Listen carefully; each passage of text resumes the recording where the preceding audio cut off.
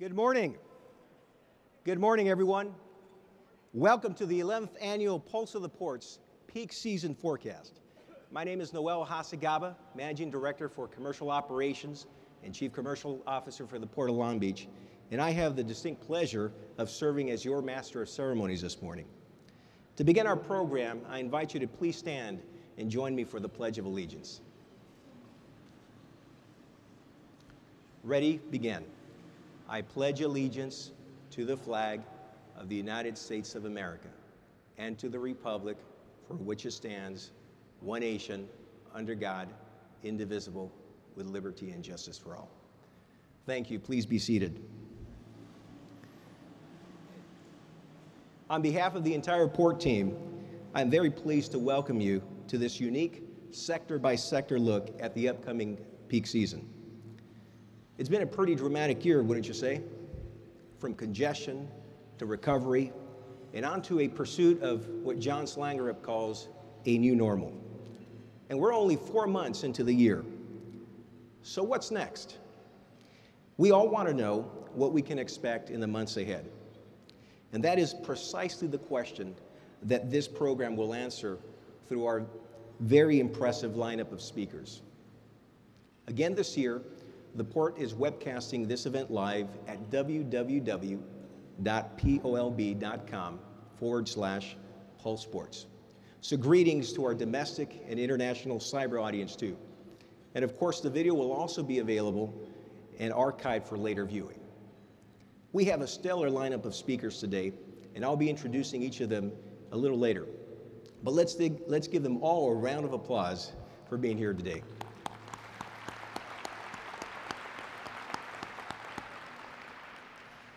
I know you will have many questions for them, but please save them for the end of the program for the Q&A session that will be moderated by Bill Mongelluzzo from the Journal of Commerce.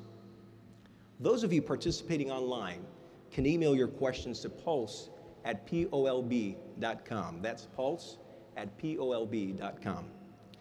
Please join me now in welcoming some special guests who are here to support this event and who really understand the benefits our industry brings to the region. With us this morning is the captain of the port, Jennifer Williams. We also have with us representatives from the following offices U.S. Senator Barbara Boxer, U.S. Senator Dianne Feinstein, Congress members Alan Lowenthal and Janice Hahn, State Senator Ricardo Lara, and Council Member Suzie Price. Let's give them all a round of applause.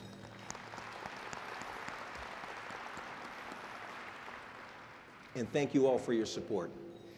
Next, it is my great privilege to introduce the members of the Long Beach Board of Harbor Commissioners, the governing body for the Port of Long Beach. We have with us today Commission President Doug Drummond, Vice President Rich Dines, Commission Secretary Lorianne Farrow Harrison, Commissioner Lou Anne Bynum, and Commissioner Tracy Egoscue. Thank you all for your steadfast leadership and dedication to moving our port forward. Let's give them a round of applause.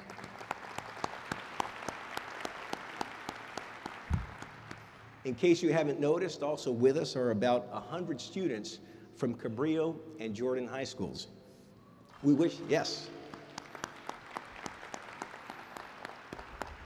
We wish to welcome them and their teachers, Thomas Valdez, Kenneth Fisher, and Jody Irish.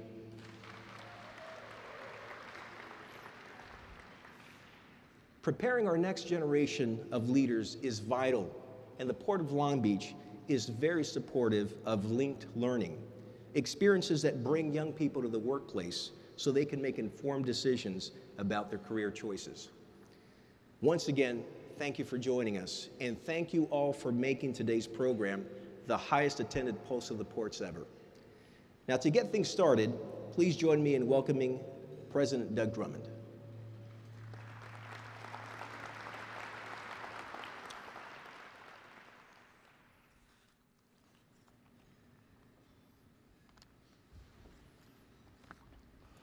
Thank you, Noel. Good morning, everyone. And I want to say, in behalf of my fellow commissioners, welcome. And, and I'd like to make a point about my commission. This is the finest group of people I have ever served on a board with in my entire life. And I'm not a youngster, I've been lots of places doing lots of things. They're super. And welcome to, to all of you around the world who are looking at us online. A lot of the focus this morning will be on the momentous events that have taken place in the last few months the delays, the new labor contract, and our steps moving forward.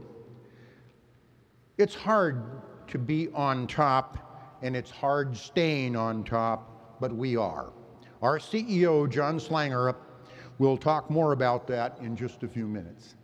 Happily, today there are no ships waiting at anchor. Volumes jump back dramatically in March, and wait till you see the figures for April. Things are just about back to normal, but it's a new normal. It will never be the same. We have many, many systemic problems to solve. It's a great thing that we're working together to optimize the supply chain.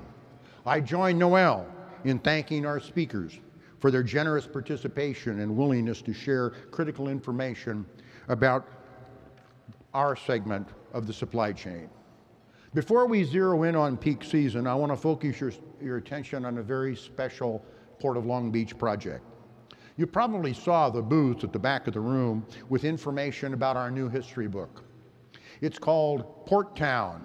On your table, you'll see a little brown bookmarker that identifies that. It's the, the story of how the people of Long Beach bought, built, defended, and profited from their port. It's a real page turner. It goes back all the way. And it's about the soldiers of fortune, land grabbers, runaway lovers, some scoundrels, and many more who helped build, inspire our, our port's mighty promise. Now I'd like to have you just briefly take a look at a, at a, at a video about this book.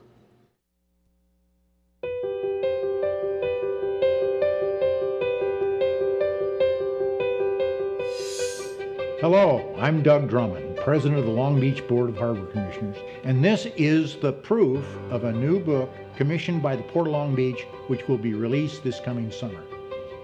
Port Town is the name of the book. It's the definitive history of how the people of Long Beach built, defended, and profited from their harbor.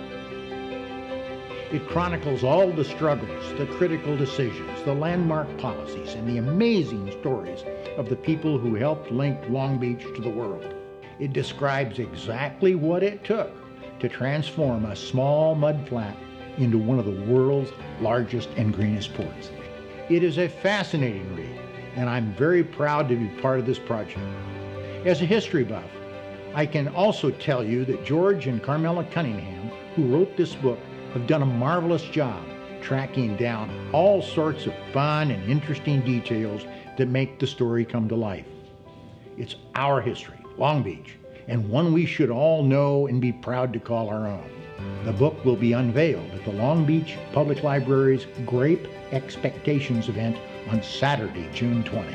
I encourage you to join me at the event so we can all celebrate our marvelous city and harbor. You can find out more at the Library Foundation's website. Thank you. Thank you. I'd like to introduce George and Carmela Cunningham.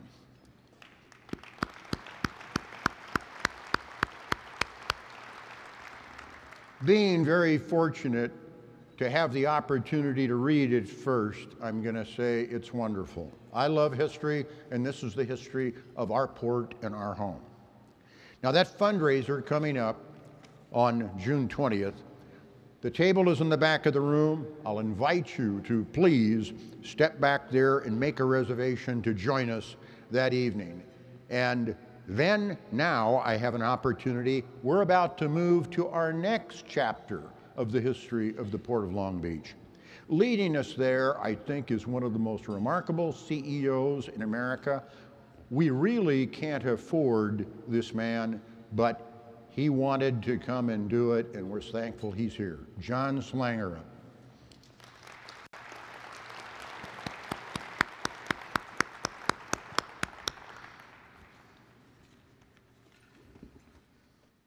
Thank you, Jon.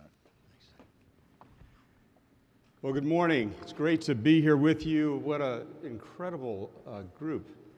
It's amazing how this uh, arena transforms so beautifully. Listen, I, uh, I want to also uh, compliment the um, staff that put this together. Uh, this is a remarkable event. It's my first Pulse of the Ports, uh, hopefully not my last, depending on how things go the next little while. Uh, but uh, certainly very exciting to be here and share some of these ideas, and particularly share uh, this podium with what will be a lineup of speakers that is truly going to give us the direction and, and insight uh, necessary to plan for the future. You know, we uh, do have a very exciting business here. It's gotten more and more exciting as every month has progressed. Uh, a lot of challenges. we've met them head on. We have uh, really uh, been very open about addressing the concerns that uh, our stakeholders in the supply chain have had. And in fact, uh, the progress really uh, has resulted in an effort both here in Long Beach but with our partners in Los Angeles to really look at a regional solution uh, for a series of complex issues, and we are aggressively moving forward with that.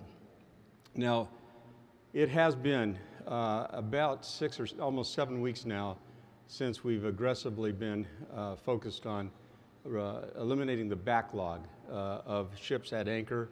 As you know, we had uh, about 36 ships at anchor. Most of you that are here locally would look out there and see that. This morning, it's been fluctuating between zero and one container ships and, uh, and ships are now coming in and immediately moving to berth, which is a tremendous improvement in just a few weeks. Much faster than we anticipated, and my hat is off to all of those uh, that work the docks, that manage the dock operations, and manage all of those complex uh, supply chain elements to make this thing work and, and, and start to work well again. Now, we speak about a new normal. I, I don't want you to think that that new normal is something less than what we've achieved in the past. Uh, my definition of new normal is a level of performance that is world class, not just simply being the best in the United States. It's not good enough. So everything that we're doing is focused on establishing a level of performance as a complete supply chain from origin to destination, meaning the distribution centers uh, in, the, in the center of this great state, um, we want to see a whole different level of performance here at the port complex, and we are going to achieve that. Now, to get it done, uh, it's not going to happen overnight. It, this is a, a very, very complex set of issues, and it requires a really dedicated effort by a group of stakeholders throughout the supply chain. Uh, we're, we're very, very much focused on not just our our ocean carrier partners in Asia and around the world, but we're also focused with our terminal operators, which are our core customers, uh, as well as our, our beneficial cargo owners, and of course the, the drayage and the rail uh, companies uh, are crucial to our, uh, this partnership. And all are coming together through an effort that we have uh, worked with the Port of Los Angeles on, uh, and it's something that we call supply chain optimization. And this effort is, a, is a, an extraordinary undertaking and will touch every part of what we do as a business. And the Port of Long Beach and the Port of Los Angeles really represent the centerpiece of that um, effort. Because, quite frankly, the port complex is in a perfect position to, to look out and see that entire system end to end and apply uh, those uh, facilitation opportunities to bring everybody together and start looking at uh, concrete solutions together as a team. Now, this peak that's coming up is going to be a different peak than last year. We are keenly and painfully aware of all of the things that we encountered last year. And those things are not going to be repeated. We are, we've already taken concrete steps to move forward uh, and address some of the things that we can immediately. And we're looking at things we can address long term that will make our peak operations better and better and better. Not the least of which is the effort that we made to facilitate what we call a gray pool of chassis. This is an interoperable fleet of, uh, of chassis that operate as a single system uh, today. Now, we, we began uh, last year uh, in facilitating those meetings between the different uh, um, chassis operators. Uh, they have been incredibly uh, cooperative and, and have worked very closely as a team in addressing complex issues related to just how do you integrate a, a group of uh, pools of, of chassis and have them operate as one. Well, in February, the system was tested. In March, we kicked it off. And right now, we have had extraordinary improvements uh, in the way the chassis are being operated. Certainly not perfect yet, but much, much better. And the great thing is that the trucking uh, impact is being felt in a very positive way. We're seeing our truck turn times, wait times uh, drop uh, steadily ever since we implemented the gray pool. So we're uh, very, very pleased with that. And I think the rail side of this thing has really come together very nicely as well. We're also focused on providing additional land, finding additional land in the port, and in fact, in the entire port complex, to set up uh, uh, different uh, off dock or near dock uh, facilities for expediting freight. The biggest issue that we have with these big ships, and we talked about it uh, when, we, when we were at the, uh, our, our uh, numbers of public meetings, but the big ships really bring a unique challenge. And since uh, Southern California is where the big ships are coming and where the big ships will continue to come, uh, we have a special uh, challenge to deal not with the, the, the size of the ships, but really dealing with the way we handle those ships. Now, I just want you to know that when we look at the ships that uh, call on the port of Lo- Long Beach, uh, we are handling the biggest ships uh, uh, that are coming to the United States. And as you know, there are over 14,000 TEUs. Uh, we know that this year, or that this, uh, the next couple of years, this decade, we're going to be seeing 18,000 TEU vessels visit our port. And, and several of our customers have ships that are on order that are 21,000 TEUs or larger. And uh, these, are, these are extraordinary uh, machines. These are extraordinary uh, challenges, uh, and they provide enormous opportunity for reducing costs in the supply chain if, in fact, the entire supply chain is managed effectively and on a highly integrated basis. So big ships are here. Big ships will continue to, uh, to come, and they're going to get much, much larger. These do not fit through the Panama Canal, so we had better be ready uh, for the future of these mega ships. We're also looking at these staging areas as an opportunity to provide relief uh, from congestion, physical congestion that's caused by these big ships on, on many of our dock operations. Uh, we, we just uh, uh, can't physically expand overnight the, the, the space required to handle such a, uh, a massive single um, import of these containers. And therefore, we need additional land identified and, and uh, working so that we can provide some immediate relief for staging of containers, both imp- import containers and export containers, so they don't further congest the uh, physical land that we have to work with. So we're doing that, and we're seeing tremendous results already. We've identified uh, several acres. Uh, we've looked at um, acreage within our port, com- uh, our port operation, you know, probably as much as 200 acres eventually that we can devote to this sort of relief. So we are aggressive about this. We are looking at ways to completely relieve uh, the operations and provide uh, expedited movement of, of goods. So when I talk about new normal, it's not just new normal in terms of handling big ships on time, but it's also about the, the, the movement of goods through the system as fast and as efficiently as possible.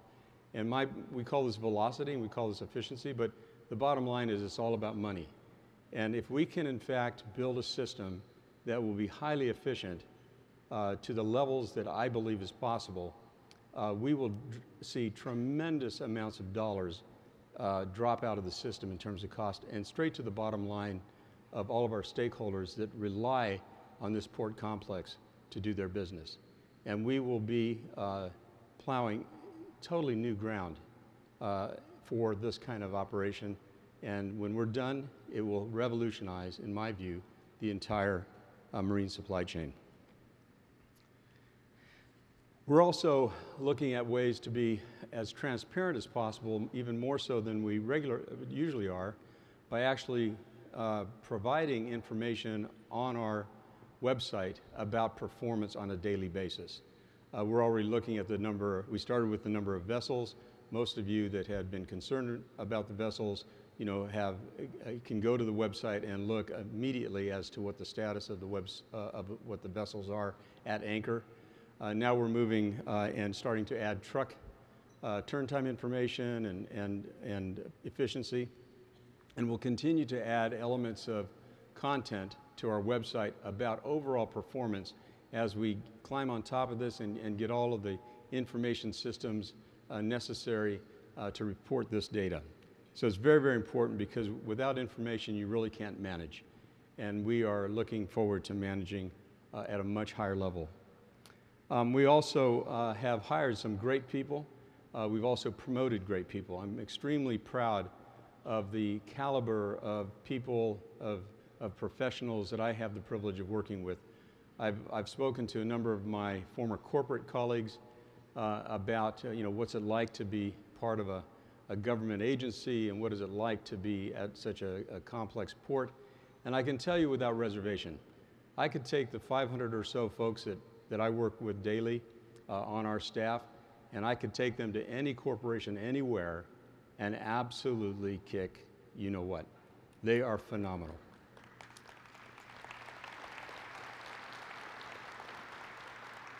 We continue to add talent, uh, both uh, by promoting uh, incredibly well qualified people internally, but also by bringing in expertise from the outside we have, uh, we've added some, some uh, key people, and uh, not the least of which can help us directly with supply chain optimization. Um, we, we hired two people notably over the last couple of months. Glenn Farron, who was the general manager at Hapag-Lloyd here at the port, joined us as the division head of our um, of our uh, operational group that supports our tenants, uh, and he's bringing tremendous operational knowledge on the day-to-day business of running the port, uh, uh, and, and his connections, his uh, relationships uh, with our tenants, who are our core customers, is outstanding, and he's, he's really been helpful. We also brought in Mike Christensen. Mike, Mike was the number two executive at the Port of Los Angeles, and he was able to transition over to us in the last couple of months and what a great ad he is. He is in fact the senior uh, executive in charge of our supply chain optimization efforts and is working very closely with his counterparts at the Port of Los Angeles in making this a reality. So I'm very excited about uh, how we're uh, continue to attract this talent and continue to move forward on a very aggressive basis. Now that doesn't mean we're ignoring what our, our core business has been, and that is providing infrastructure uh, to the Port of uh, Long Beach. Uh, as you know, we're about halfway through a four and a half, or four and a half billion dollar infrastructure um, program where we're building, you know, this incredible replacement for the Gerald Desmond Bridge. Uh, that is now coming out of the, the ground. You can see the towers if you, if you drive over the existing bridge. You look down and you see those uh, towers being erected. Um, they will stand uh, well over 500 feet in the air, the tallest structures in Long Beach, uh, and that is moving along smartly in terms of schedule and cost. So we're very, very proud of, of, of all of our partners with that and our team who's managing that. Same thing with Middle Harbor. Middle Harbor, I know many of you have been, been there and, and, are just uh, stunned by the, the, not just the physical beauty of, of a port. I know all of us in the room find it beautiful to look at a port. Uh, but you know, it, it really is. It's amazing. For an industrial complex, our port is a beautiful industrial complex. And the, the um, Middle Harbor, or the Long Beach Container Terminal uh, project that we have going with our partners at OCL and Long Beach Container Terminal is a remarkable achievement. And we turn the keys over to Anthony Otto uh, later this summer, and he's going to be uh, fully preparing that facility for commercial operations next year, early next year. And when that uh, begins to operate phase one, we'll add 10% uh, container capacity to the port, and then followed on uh, a few, a couple of years later by phase two, which will add another 10%. So all up, we'll have about a 20% increase in our capacity just with the Long Beach Container Terminal uh, expansion. I also want to mention that Monday night uh, at, at our board meeting, we approved our fifth uh, uh, project labor agreement um, that governs almost all of the construction activity that goes on at the port. Uh, this one was for phase two and three of Middle Harbor, which is now underway, and it's governed by this uh, project labor agreement.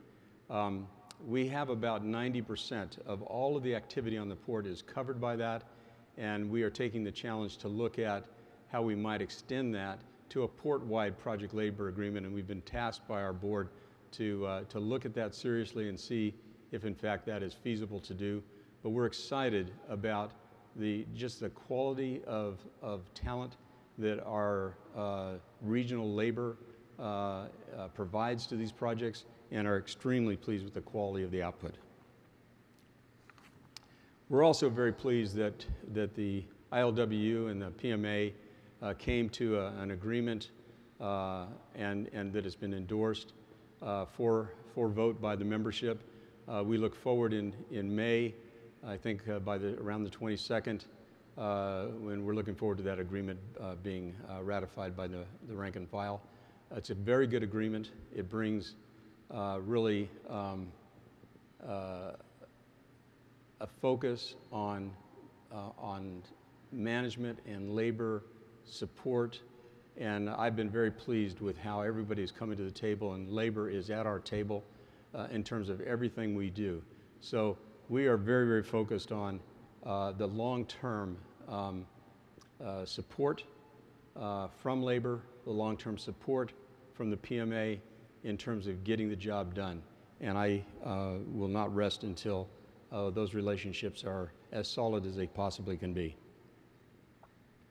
So in closing, I just want to thank all of you for the support you've given us. Uh, we cannot do this without you. We, uh, we are powerless to do anything without you.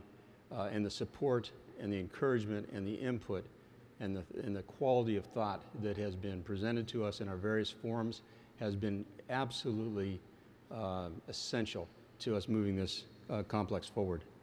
And so I thank you, and I, and I think with this Pulse of the Ports event, which is obviously an extraordinary event.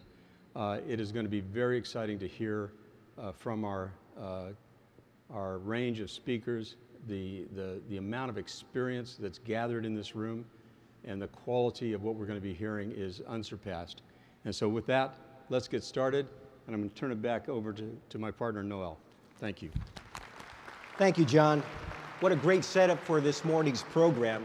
So you've heard from the Port of Long Beach, now we're going to be hearing from our experts. We have a lot of territory to cover this morning, and so in the interest of time, biographies for each of the speakers were provided along with your registration confirmation. So my introductions will be brief. One of our goals today is to better understand how we can prepare for peak season. In order to do that, we need to take a look at the big picture. I can't think of anyone else in our industry who can set the stage for our journey through the supply chain better than our first speaker. As chief economist for the engineering firm Moffatt Nichol, Dr. Walter Kemmsies directs and oversees the firm's market studies, financial analyses, and global trade and economic forecasts. Please welcome to the stage and back to the Pulse of the Ports, Dr. Walter Kemmsies. Thank you, Noel. Uh, truly appreciate the nice introduction. And as always, uh, it is both an honor and a privilege uh, to speak before an industry uh, whose um, activities and investment plans, um, to a large extent, I do have to forecast. So, to some extent, also a little bit intimidating. We find out next year how things panned out. So, I called this year's talk uh, Outlook Lots of Moving Parts. And we'll get into the reasons for that in just a minute, but before we go too far, um, as usual, the opinions I'm going to express here are pretty much all my own. Uh, they don't reflect the views of my company. And uh, it may be the case that my colleagues don't agree with me, which quite honestly would make them wrong. But nonetheless, uh, nonetheless, it's based on a lot of work that I get to do, um, you know, in the, in the port and the freight movement industry, and it is supported by contacts and discussions and the support that I get from many people who are present in this room today, including some on the panel. So very grateful for that. And without further ado, um, three key points. As usual, we want to focus on three key things. And the first one is the U.S. has pretty much been supporting global growth for the last four years helped a little bit by other countries, but it's pretty much been the pillar. Europe is beginning to get out of the hole that it, it dug with some unnecessary uh, policy moves, um, which put some countries into extreme economic difficulty. Um, I don't think we're going to see Greek exit or Grexit, as the press likes to call it, or the British economy leaving the European Union, but nonetheless, uh, those are the kind of events that could create, you know, uh, uh a forecast there um, as Europe picks up and catches up with the US, then the Asian manufacturers should do better, and then that'll translate down to the commodity exporting countries, such as Australia, Brazil, to some extent Canada, South Africa. And that's how we see the, the process of global economic recovery diffusing through the world. And we would like to see this happen sooner rather than later, but right now the, the economic data is very weak. And because of that, we've anticipated that policymakers around the world would start engaging in expansionary policies. They are, and they're doing it slowly so as not to trigger uh, inflation or uh, uh, more speculative bubbles in the investment community. So, far, so good. Second half of the year looks much better than the first half. But it does say that the dollar has a slightly stronger tendency to strengthen than to weaken. Commodity prices don't look like they're firm yet, but second half of the year, I think we will be past the worst point of all of that. So the question is, um, what's the outlook for the U.S.? That's the question everyone asks around the world because it still is the pillar of growth. And the question is, when will the Federal Reserve feel that it has to step in the brakes? And basically, until the Fed raises interest rates, which is the sign that it's e stepping on the brakes a bit, it would be premature to call the economy fully recovered.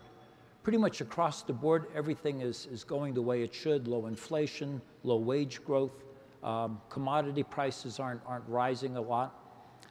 So the Fed isn't under any severe pressure to, to raise rates, and quite frankly, it would rather not do so because the housing market is still on a very long term track towards recovery. Some parts of it look good, and if you look in the San Francisco area and other places don't look uh, very healthy. So until nationally the numbers are where we want them, I don't see any real pressure on the Fed or desire by the Fed to raise interest rates aggressively. So uh, the basic global outlook is one for not very high growth, but you know, a, a movement towards stability rather than instability. And fingers crossed that policymakers and others don't act prematurely. So what does it mean to us? So drilling from the world to the US down to, uh, to our industry, we see import volume growth continuing to outpace that of exports in 2015. That, that was the case in the latter part of last year. To some extent, you can blame the dollar, but honestly, that, the dollar strengthening happened um, only about six, seven months ago, and it's premature to see that show up in the, import, in the, sorry, in the export figures yet. So um, we're, we don't really think that the full impact of the strengthening dollar is there. But quite frankly, I think the congestion issues are a bigger factor, and I'll come back to that. So just running through some of the charts and data that I look at, I have a very big dashboard with lots of charts and tables and maps, and so I pull out a few of those, put them in the slides. And uh, this is one where I just focused on a handful of countries. What you see here is GDP growth rates for some of the world's largest and most important economies. Uh, the China, India, the emerging markets are growing faster than the world average, and below the world average is the US and Europe, which are very developed and mature economies with aging populations, and therefore not growing as fast. And um, I put the forecast in for 2015 from the IMF. I have my own, but um, I think it's always good to use visible data. And we do see China slowing down. There's a lot of concern that, you know, this indicates China is going into some kind of a recession, but I don't see it that way. I see this as part of the deliberate process in China to get away from being an investment-driven economy to, or uh, export-driven economy to a consumer-driven economy. And it doesn't happen overnight. There's 1.3 billion people. That's a lot of behavior to change. India's picked up a little bit, but still it's not that hard for India to do with low per capita income. And when you look at this chart, you should notice that India's growth rate is not as high as it was in the past. China's has slowed down. Europe put itself in, in not one, but two recessions in the last five, six years. And so it's been the US who's been the stalwart of growth. So the outlook for the US is a chart that shows retail sales adjusted for inflation, my adjustment, and employment. Um, you know, employment is a lagging indicator of economic activity, and you can see it in the chart since I marked off the recession periods. And when you see the Fed really raise interest rates, is when that orange line you see there, retail sales, growing faster than employment. That's a way of saying demand is growing faster than supply. And when that happens, prices go up. And right now, we've had four or five years where sales and employment have been moving in line with each other, and that's why the Fed isn't really pushed to raise interest rates aggressively. And as long as those lines move in parallel, we'll be okay.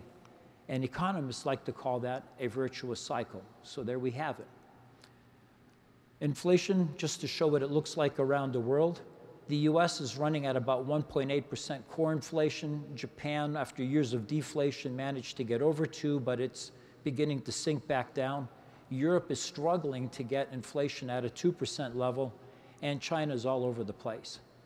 Now, policymakers want a 2% rate of inflation because that's where you can sustain a virtuous cycle. If it's too low, companies have to fire workers because profits are too low. And if it's too high, then you get a wage price spiral. So 2% is what we're looking for, and only the US seems to be in that neighborhood. So no inflation risks, no reason for policymakers to slam on the brakes the, on you, the downside of having a healthy economy compared to the rest of the world is the currency has appreciated. And you can see that in the interest rate trajectories for different countries. Um, I run a number of these models. This one is for dollar euro. And basically, when US interest rates rise relative to European rates, because the economy is strong, we then see the dollar strengthen because it becomes a more interesting currency to invest in. And so for a while, the euro was a little overappreciated against the dollar, but now at about 105, 115 to the dollars to the euro, it looks like we're at a good level. Um, I do think that some of the emerging market currencies still have to derate a little bit, but the bottom line is, is that the dollar is stronger than it was in the past, and this doesn't really help export competitiveness. When I add it all up, I put it into a scorecard. This is one that I use for the recovery phase of the business cycle. I've been here four years, and every year I say, I hope to not use this card next year. So I'll say it again, because eventually I'll be right. But I would like to use my mid-cycle scorecard because I think we're pretty much at the cusp of recovery. I just want to see the Fed raise interest rates a quarter point, and then I know we're done. Now, I'm not going to go into all of the details here. You can download the slides from the Port of Long Beach website. Um, but I would say that when I add up the scorecard and look at the factors, we have GDP growth running at about 2.9% this year, next year, and that's relatively positive for uh, activity uh, at the port level. Um, last year, we saw much stronger growth in imported containers in the US. Exports uh, did not do as well particularly in the back half. And um, for this year, we look at 6 to 8% peak season volume growth for the peak season of this year compared to last year. Now, there's a little bit of art in that because the peak season tends to peak at slightly different times during different years. Nonetheless, the, um, the, the bottom line is we will see imports growing faster than exports this year and next year, and I'm afraid that the exports will actually contract um, by the time we get to the end of this year compared to last year. Let's, part of it is the dollar, but part of it is another factor. Um, the bottom line is, is we do need to see the exports pick up because if they don't pick up, then we won't create a lot of jobs and then we won't have to import a lot of things. So I want to focus just a few minutes on the exports. Where the U.S. is strong, it has worked. This is our trade deficit. I broke it down into the services and goods components. We have a service surplus and a goods trade deficit. The oil component of that has declined and it's at its lowest level it, since 1999, and 1999 was a weather-induced decline. So it's very healthy. It tells us things are going in the right direction there. Um, when we look at oil and gas production in the U.S., gas is at a at a at an all-time high, and oil is about to prove the peak oil theorists eh, that wrong. We are almost ready to produce as much oil now as we did at the peak period in the late 1960s. So that works. Um, unfortunately, I think it's run its course. Uh, global oil production and consumption are plotted here, and the inventories are the black line. And when the black line goes down, it means we have a lot of inventory, and production is running well ahead of consumption, and that needs to um, basically be corrected. So I don't think we're going to see a lot more from the oil side of things, but there are other things the U.S. can export competitively. So the three main categories are agriculture, capital goods, and energy. The agriculture side is a little slow right now. The rest of the world has had some bumper crops, and there have been some issues in the US we'll get to in a second. Capital goods looks very good. Interest rates are low, and the US is very competitive in these products.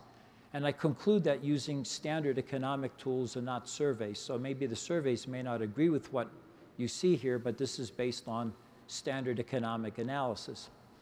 Um, in terms of the, uh, the uh, agricultural exports, we hope that they will grow a little faster. Um, it might be a little tough with the dollar being more expensive. And we do want to be careful when we produce these forecasts because not all of it goes out in bulk or in container, and you can see the mix here.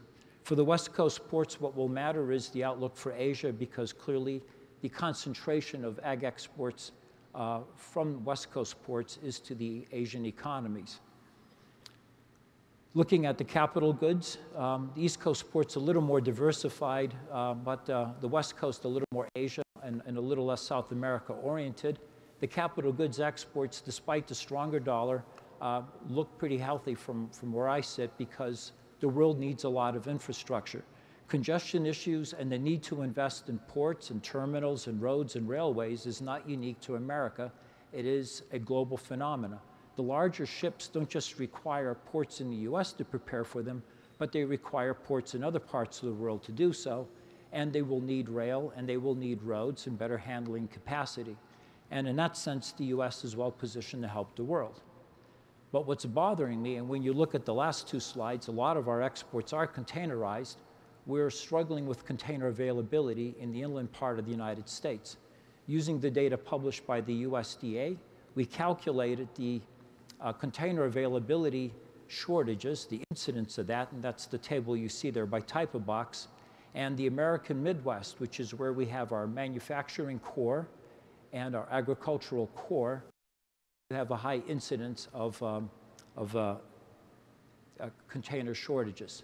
And part of this is, I think, driven by congestion on, on, on the coast because the push for the carriers has to be to turn the boxes at the port and get them back on the ships because they can't get tied up in, in the big congested, congested mess we see in the rest of the country.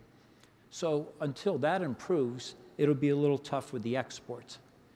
And to just pull it back all together, um, so the US has been pretty much carrying the piano all by itself for the last four years. We believe that by the end of this year, the growth of the global economy will be more spread out. It'll have a wider base. The Fed won't really have to step on the brakes too much, but the better the rest of the world does, the easier it'll be for the Fed to do its job. Um, we are looking at the housing market and hoping it improves a lot, and that does matter to the West Coast ports, particularly in, in Southern California, because they are driven by, or they are heavily impacted by home goods imports. And uh, we do think the imports, nonetheless, will do better than the exports uh, this year and probably into next year. And thank you for your time.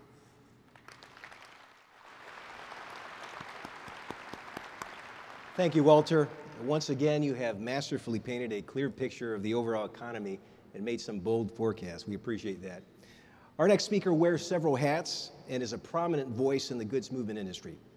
Fran Inman was appointed by Governor Schwarzenegger and reappointed by Governor Brown to serve on the California Transportation Commission, an independent public agency dedicated to ensuring a safe, financially sustainable, world class multimodal transportation system that reduces congestion, improves the environment, and facilitates economic development through the efficient movement of people and goods.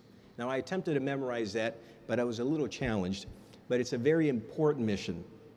As she often reminds us, that is not her day job. Her day job is Senior Vice President for Majestic Realty, one of the nation's largest privately held real estate development companies. So, Fran is very well versed in the warehousing and distribution industry, and I don't know anyone who knows transportation issues better than Fran. Fran? Oh, thank you so much, and good morning. And I'm delighted to be here. I have to tell you that the Pulse of the Ports is really one of my favorite uh, events every year. And I, I was thinking this morning when I was driving here, I remember that year when our buddy Dick Steinke said to us, well, we think we have a pulse this year, but we're not really sure. So good news is today is I think our pulse beat is great. Uh, this year, we, one might say that we've had a few heart problems though. Uh, I'd say our pulse has been a little erratic this year. So I was asked to speak from the perspective of an importer, and my husband would tell you that I'm highly qualified given my love to shop and my home improvements. So here I am, Home Depot and uh, Nordstrom's and all those rolled together. So tell you what, what we're seeing. And also, as Noel mentioned, um, Majestic Realty with our holdings in commercial real estate that are dominated by warehouse distribution facilities, we do indeed feel that we are partners with so many of you. So I'll be the Jonathan Gold wannabe this morning and talk from the National Retail Federation. I had the honor of moderating a panel last week. Jonathan participated as well as Noel and a number of our key stakeholders. And uh, we also, many of us have gotten onto Jonathan's email string, and while it's not the Cunningham report, we still miss that Cunningham report, George. So any day you want to come back. Sunday nights just aren't the same uh, without that Cunningham report. But uh, anyway, what Jonathan told us last week, and I know he was out to participate in our supply chain optimization forum kickoff, but he talked about you know what this year has been and the import, the impact to the retailers. I think the good news for all of us from this area uh, who have been pitching that we are America's gateways. There certainly shouldn't be any doubt if you look at the number of associations that have signed on to numerous letters from the National Retail Federation. I think one of the lists I saw had over 200 uh, different trade associations that were feeling um, our pulse when it wasn't uh, quite such a rapid pulse this year. So uh, we are indeed America's gateways. Uh, what we heard from Jonathan last week was the challenges of additional transportation costs, the missed shipments, the demurrage fees, the cargo shifts, and the diversions. Things that I don't need to tell all of you about. I think we're all living that and working through, and as John talked about the new norm, really raising the bar for all of us. But we are in a time of change. We're seeing larger and larger ships, and yes, I can't wait for that majestic Maersk. It'll, I real, realize it will land probably a little bit across the harbor here. But that is one of those triple E's, 18,000 plus TEUs. So it'll be a little while before the majestic Maersk uh, comes here. But I told Lee Kindberg that I intend to be there the day uh, that ever comes into our port. Unfortunately, it's in the Asia-Europe string right now, but beautiful, beautiful. And I think those larger and larger vessels are the norm. And so for all of us to be able to keep our supply chain optimized in that, it's, it's pretty much uh, changing for us, how we're, the cargo is arriving, and we need to be able to be flexible and to adapt. So anyway, efficiency, optimization are really the top of everybody's list. Looking uh, across the U.S., we see other ports are also focusing on that. I think it's important for us to continue the dialogues that we're having. I think uh, looking at my day job in Majestic Realty, we are privately held, founded in 1948, headquartered in Los Angeles, and with 70 million square feet in our portfolio. As I mentioned earlier, 96% of that is industrial warehouse distribution facilities. So we are indeed part of this whole supply chain gang. So the last two decades have really been the time of rapid, rapid growth for Majestic. We've added 34 million square feet uh, to our portfolio during those times. Our tenant base includes most of the big uh, Fortune 100 companies. I've often joked that we could indeed uh, build a city, and the good news is we'd have In N Out hamburgers there, so life would be good. Um, we are busy. Again, this last recession was different. We put the brakes on, uh, being privately held as we could, and it was like no other. Uh, but the good news is we've ramped back up, and I'd say the challenge for all of us is that most of our new development at Majestic has been outside the state of California. As you all have heard me say before, we kind of take our cue from Wayne Gretzky of skate where the puck's going, and we have to figure out what those major retailers are going to be looking at and how they're going to be managing their distribution. So another key indicator for us would really be the world of retail and the impact of e-commerce, all of our online uh, omni-channel distribution patterns are changing for all of us. Now m-commerce uh, is part of the nomenclature. So we see the retail sector really adapting, modifying fulfillment centers. The last I heard, Amazon had 38 fulfillment centers. So watching and waiting, Walter talked about the cost to capital. I think for all of us, we've been in this unusual, unusual time, and I think we haven't perhaps recognized the impact to the supply chain with the very low cost of capital. So from Majestic's perspective, it's been good for us in terms of our portfolio development, but also people tend to carry a little more inventory in those uh, situations. So we try to stay uh, ahead of the curve, figuring out, obviously, everybody wants speed to market, and that last mile is so very, very important. So as Noel mentioned, I do have the honor of serving as a member of the California Transportation Commission. And our commission is all things transportation except the high-speed rail. So on that body and uh, recognizing Chair Drummond recognized his board, I have to tell you that the California Transportation Commission, too, is probably one of the finest groups that I've been a part of in terms of commissioners that are truly dedicated to mobility in our state and making a difference. I have assumed the role of the loud voice for the supply chain. So I take my picture of freight Kool-Aid and make sure that it's always up there because as we strive to really build sustainable communities, the work that we all collectively do together is so very, very important in terms of getting the goods to our residents and to our businesses. So transportation funding is a hot topic for us. When I joined the commission in 2010, they were just issuing in 2011 their first ever needs assessment and working in the private sector, I found it very interesting that we hadn't compiled a needs assessment, but the good news is we were doing it. Uh, but we, we set a 10-year horizon, And I find that interesting because on average it takes us 18 years to do a major project in California from the early concept to delivery. So uh, our 10-year window, one could argue, wasn't even long enough. But the numbers were staggering uh, in terms of the needs in our state. And we estimated that over 10 years we would have nearly $300 billion shortfall in our maintenance and our improvements that we needed.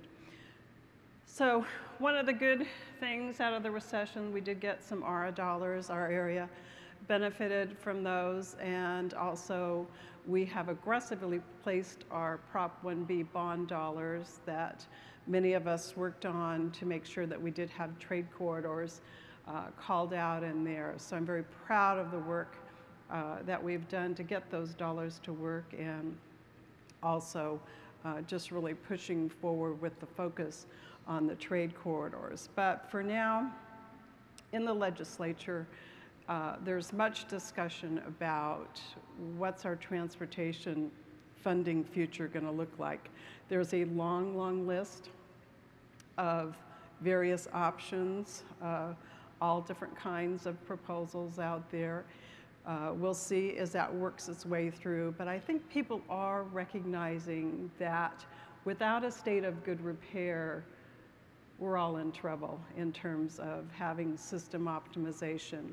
So we'll see how we work through all of those various opportunities, but clearly in all the discussions, uh, freight and goods movement is specifically called out and recognized as a need. So I added, well, let's fix freight first. So we'll see what kind of traction we could get on that. But clearly from an economic impact, uh, we have huge issues uh, in terms of focusing on maintaining the assets we have and then also providing for our future mobility.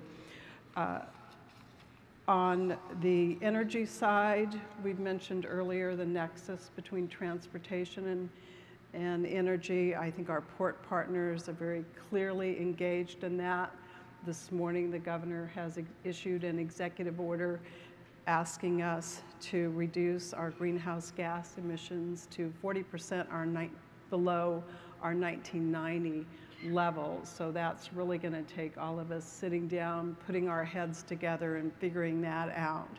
But I'm proud to tell you that our port partners have been working with our California Energy Commission, brainstorming which pilot projects we can do and how we can better utilize the resources and the expertise of the Energy Commission as we all try to figure out what our collective future uh, will look like. On the state level last fall, or December actually, we finalized the California Freight Plan and just last week the Air Resources Board uh, gave an update, or the staff gave an update to their board on their sustainable freight plan. Many of us have been sitting at the table. We will continue to be engaged on those levels. The good news is I think we have seen really uh, a response to our request for integrated planning and also making sure that we have the economic vitality and the economic leg of that stool because it is so important to what all we, to our state's economy and to our nation's economy. On the federal front, we have gridlock. Um, many of you know that our Highway Trust Fund is once again nearing the zero mark. It has been on life support through general fund contributions. And there's general agreement that that probably is not going to be the funding solution for the future. That's the good news. The bad news is we haven't sat down, rolled up our sleeves, and figured out what our funding should look like for the future. Who knows what's going to happen? I was just in DC last week, and while everyone seems to understand that we do as a nation desperately need to invest in our infrastructure, we don't have the real heavy discussions we need to have, in my opinion, in terms of figuring out what does that mean? What could it look like? and what would we do uh, to figure out what our future. So I guess what I would say to all of you is while we're still waiting for that National Strategic Freight Plan to come out, I have the honor of serving on the National Freight Advisory Committee, and my subcommittee was focused on project delivery. We were asked to give the US DOT a couple of suggestions, and we stopped at 32, uh, only because of time constraints, because we do all have day jobs. Uh, but I think it's one thing for all of us. We have to figure out what our funding is going to look like for the future, but we also have to figure out how we are going to be better stewards in terms of getting those projects delivered uh, so that we can continue to meet the needs. So to summarize, I guess the first thing I'd like to do is just recognize the amazing group collectively of our supply chain partners, and I'm really talking about not only the capital assets that we have, but also the human capital. I am proud to say that not only do I work with many of you on a very regular basis, but I'm proud to call you uh, a friend as well, and I think that speaks to the tremendous power. And as Jon said earlier today, he could take his team of 500 to any sector, and I would argue that collectively this group of supply chain uh, partners could tackle any task of any corporation. So we do have lots of partners, lots of externalities that impact us. We've felt those over and over again, and we just have to be prepared. I think, as I mentioned, our pulse has been a little erratic, but I think we've had a good dose of Crestor, and we've got our arteries cleared out here with only one ship out there or not any today. So uh, as we look to the new norm, um, I'm just proud to be your partner and to share with you and look for exciting times for all of us. Thank you. Thank you, Fran. We appreciate the update from both perspectives from the import side and the nexus to warehousing and distribution. Certainly, we appreciate the updates from the state and federal level. And just for the record, uh, Fran has brought ample supplies of freight Kool-Aid. If you wish to take some on your way out, I'm sure she would appreciate you taking some. Now it's time to switch our focus to exports. Donna Lemm is Vice President of Global Sales for Mallory Alexander International Logistics, where she's responsible for warehousing and distribution. Donna also serves as a director on the board of the International Freight Forwarders and Customs Brokers Association in New Orleans and is an active speaker on the challenges facing the U.S. shipping community. Please welcome Donna Lemm. Thank you. Thank you. Good morning, everybody. I appreciated the conversation on exports this morning, um, a brief highlight about some of the challenges that we're facing. Yes, because of the US dollar and the strength of the US dollar, but also we're facing some very, very severe challenges because of the West Coast congestion problem. I'm Donna Lemm. I'm with Mallory Alexander, and you may ask, why you? Mallory is a 3PL based in Memphis, Tennessee.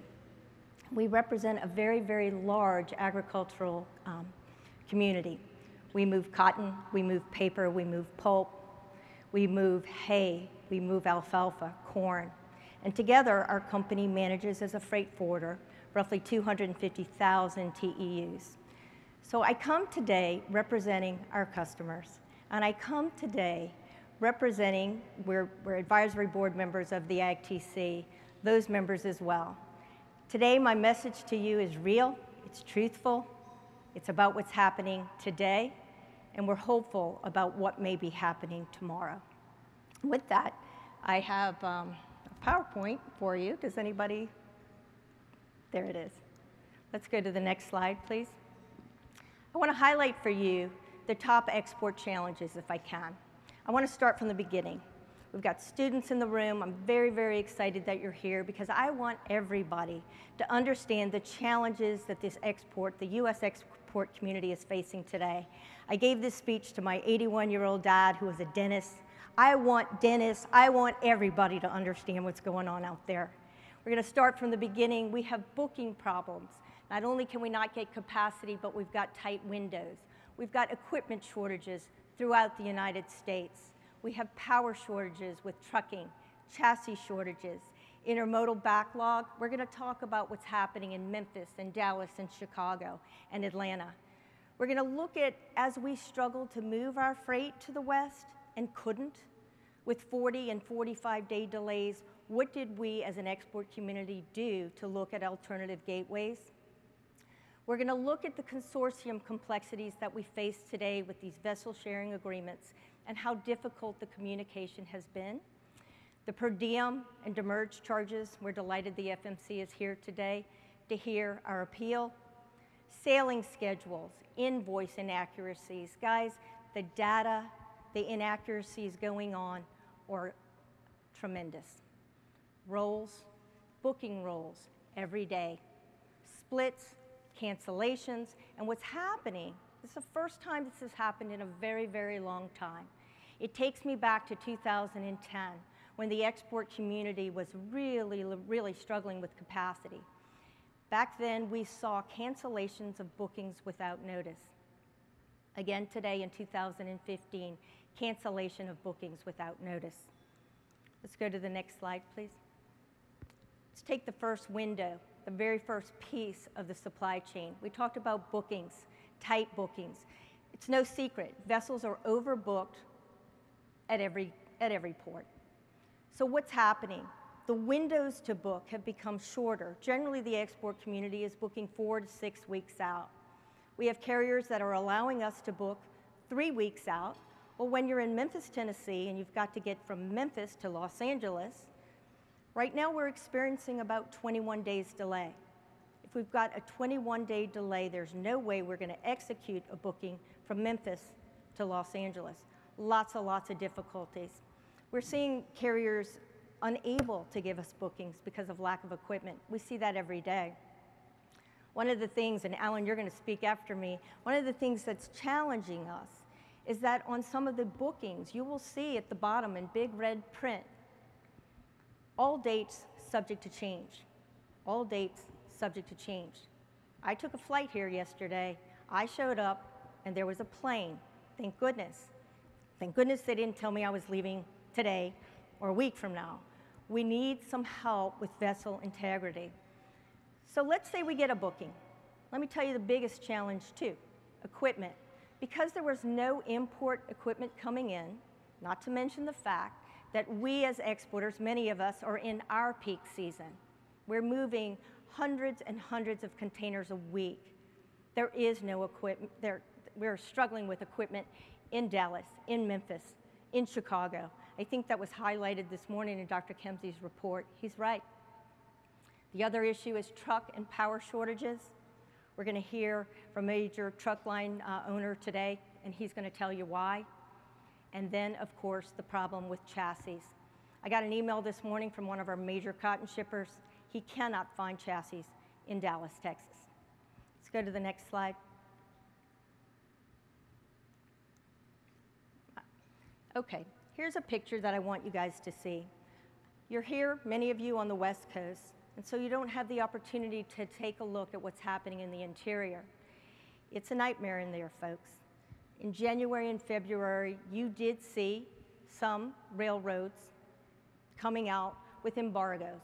Now, most of this was for smaller interlining hubs, and so these major hubs were not necessarily impacted with embargoes. But what has happened and even today, we see carriers as, as they are managing their intermodal networks because of West Coast congestion, limiting us, the export community, to only a handful of boxes per booking.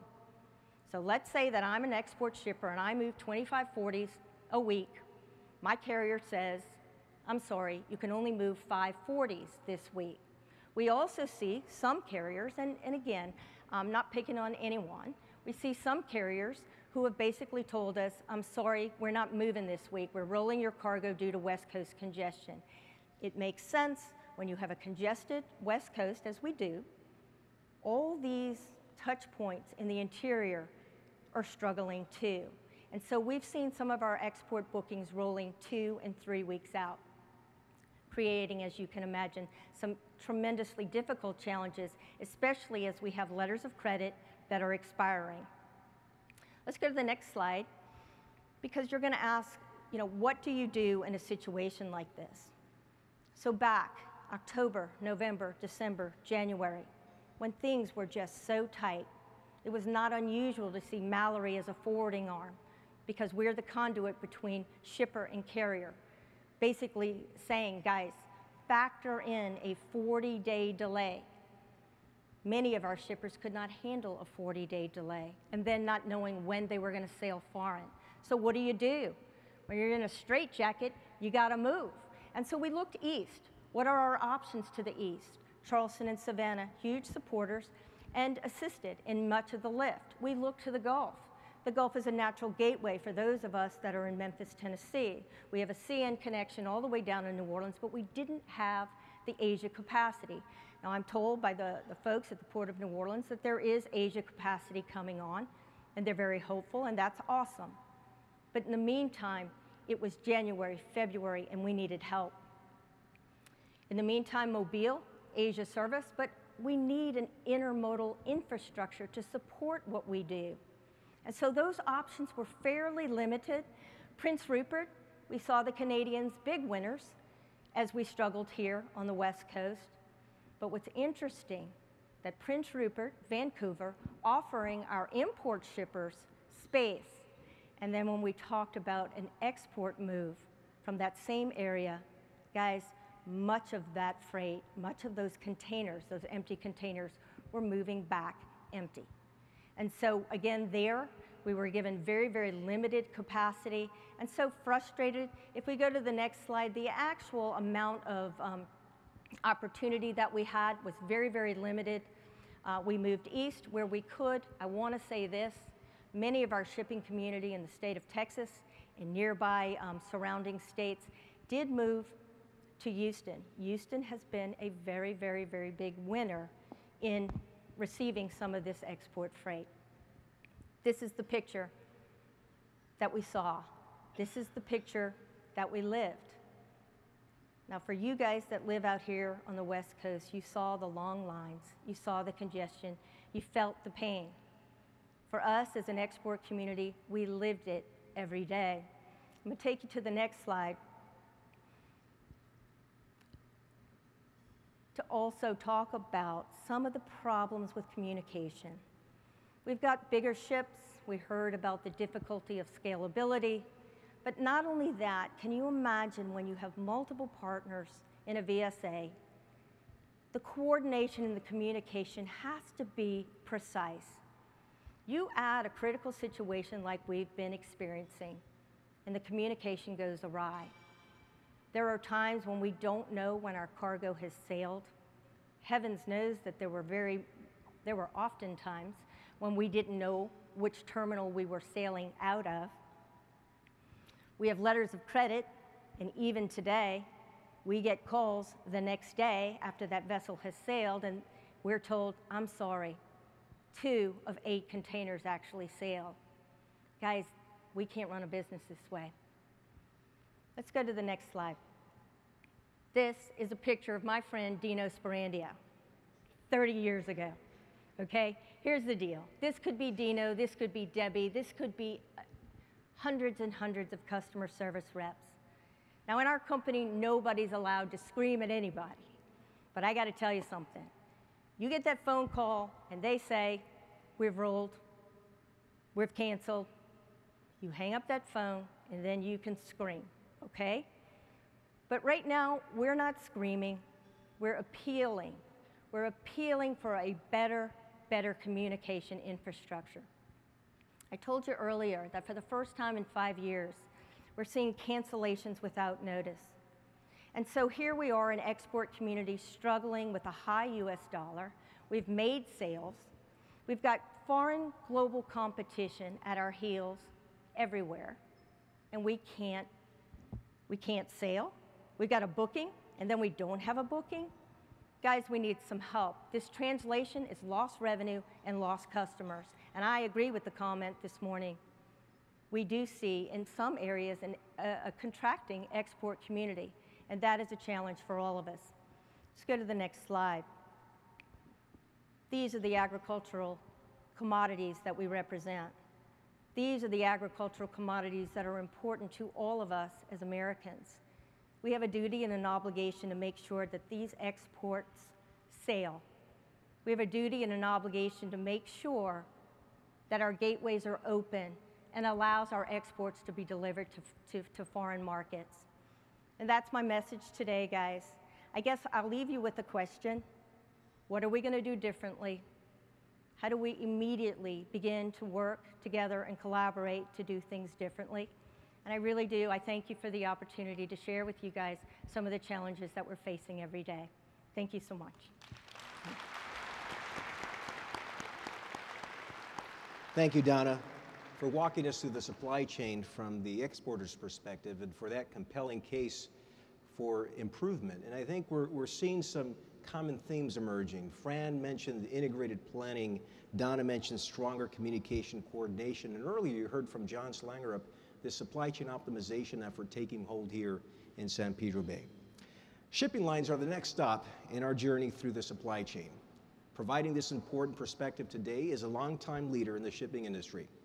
Allen Clifford has been with Mediterranean Shipping Company, the world's second largest shipping line since 1981, and serves today as MSC's Executive Vice President. All of us involved in international ocean trade are impacted by the bigger ships that MSC and other carriers are introducing into the international fleet and the effects of alliances on cargo handling. Let's hear what Allen can tell us about what's coming next. Allen? Good morning, everyone. I'm not a podium kind of guy. I have to walk a little bit. And I think you can tell from my accent that I'm not from California. Does anybody know where I'm from? From New York. So be careful with the questions you ask me. I may not load your cargo. So, there's a couple of things that are on my mind. The first thing is, why did I have to wake up at 6:30 in the morning? It's number one. No, come on, 9 a.m., 7 o'clock. No. The second thing is, is some things that the speakers had all brought up.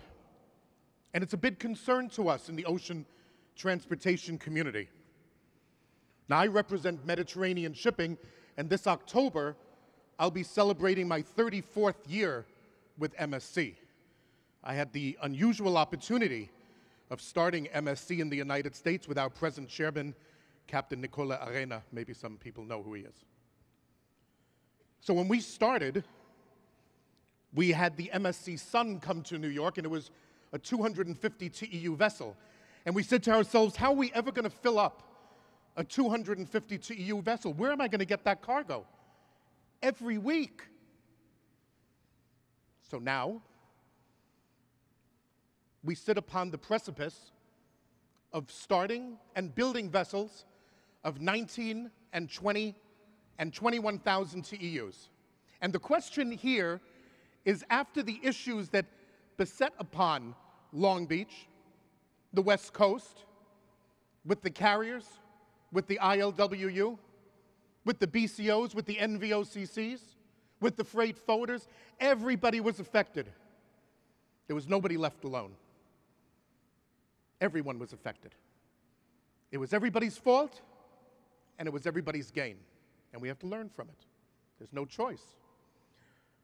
But the question really is not so much that, because I believe, and I see already, that a lot of the cargo is coming back to the West Coast. I don't see the cargo necessarily staying in permanently in other ports because I think West Coast centric cargo remains West Coast centric cargo.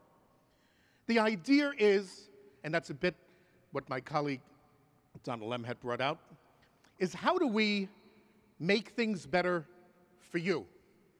we can continue to build huge vessels. MSC has just inaugurated a few, uh, last month, the new MSC Oscar, which was named after the, uh, our owner's uh, son, Oscar.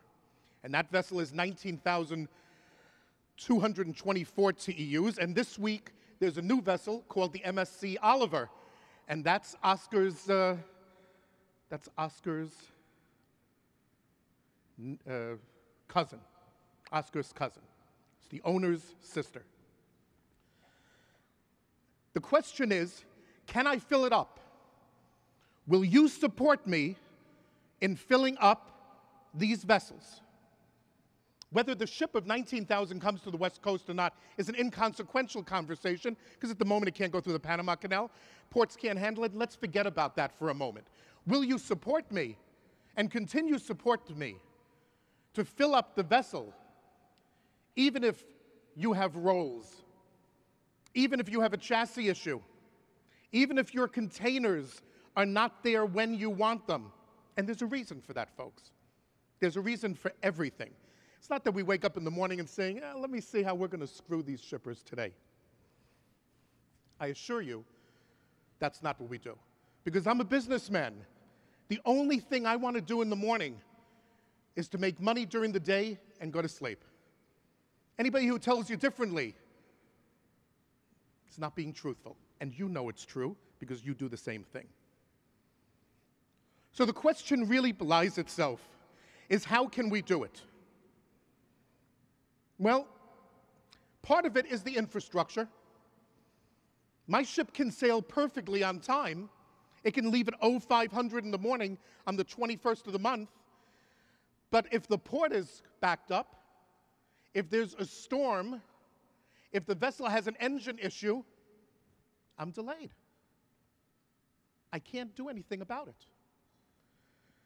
I just received an email this morning from Port Authority in New York, New Jersey, that the ports in New York, which would be PNCT, Maher Terminal, the terminals there, are so congested that the line, if anybody's familiar with the Port of New York in New Jersey, the New Jersey Turnpike, the truck line is so long this morning that it's leading out onto the turnpike and they've closed the exit. They're not allowing trucks into the port. Who's going to get blamed? I'm going to get blamed. Who's going to get blamed when the truck doesn't show up on time at your warehouse? I'm going to get blamed. Who's going to be upset when there's not enough containers in the Midwest or in areas and there's not enough chassis? I'm going to get blamed. I accept it. I'm a New Yorker. The fact is, the fact is, thank you for clapping. The fact is that we have to be reasonable in our assessment of what we can do today. To build a ship of this magnitude, whether it's MSC or Maersk or COSCO or CMA or whomever, takes a lot of deep pockets, takes a lot of commitment. So we can only do the very, very best we can, but we need your help too. How do we need your help? We need you to be patient. We need you to work along with us. And we need you to pay a remunerable rate for the services that are provided. Now, this is a very contentious conversation, but I reminded you that I'm from New York, so I'm going to speak how I always speak. The fact of the matter is, folks, there's no viable thought process to ship a container of hay from the United States port to Japan for $300 a 40. My dinner last night in New York was more than 340. The fact is that what's up is down and what's down is up, as Seinfeld used to say. The fact of the matter is that we have to change a bit the way that we think because the carriers can't continue to build vessels of these size. And why would you say, perhaps, why are you building vessels of that size? Well, why are you building vessels of that size? It's because that's what, where the cargo is. We're with the Walmarts and Targets be today, the IKEAs, everybody, the big box stores, the people who ship three, four, five, 600, 800,000 TEUs a year. Where would they be today without the ability to move their cargo on these massive ships?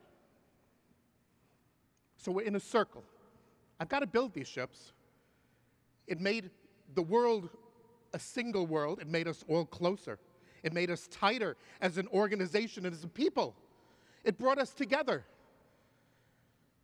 You know, when I began the industry in 1979,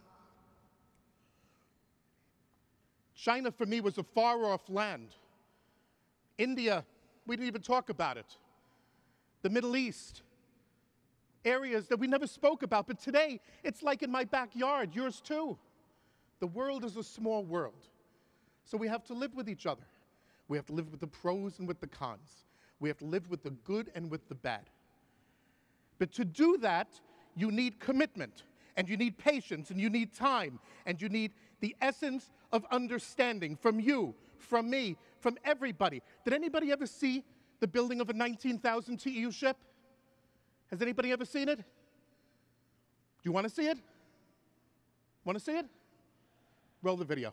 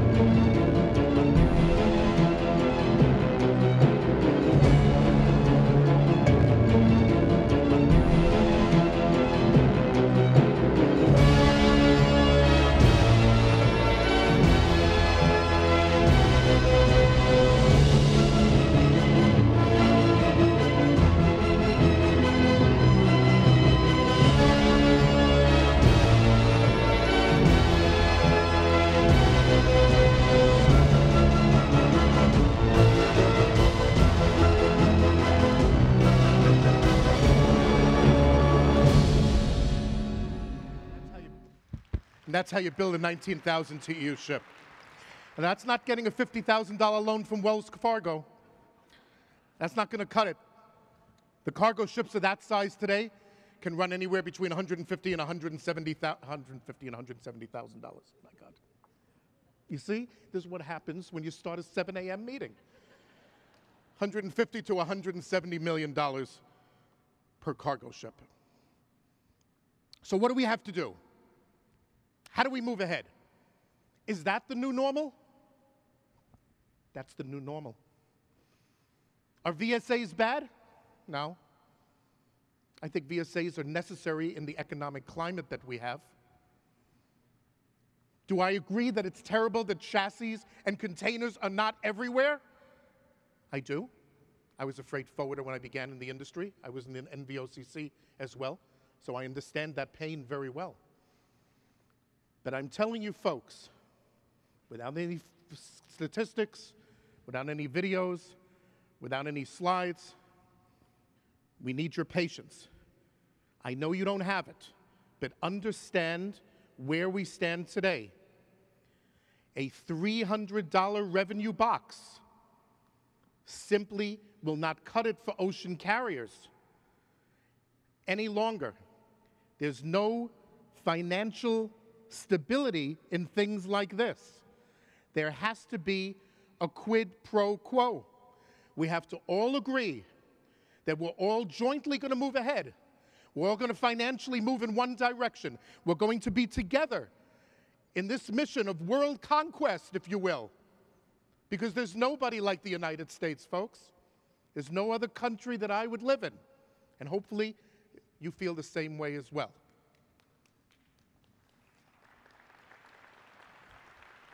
So let's do this together.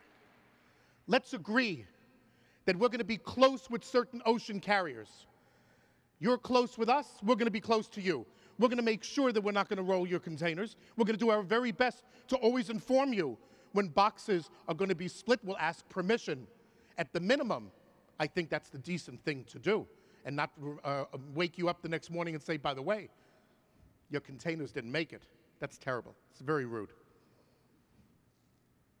The fact is that we can do this, and we have to be reasonable.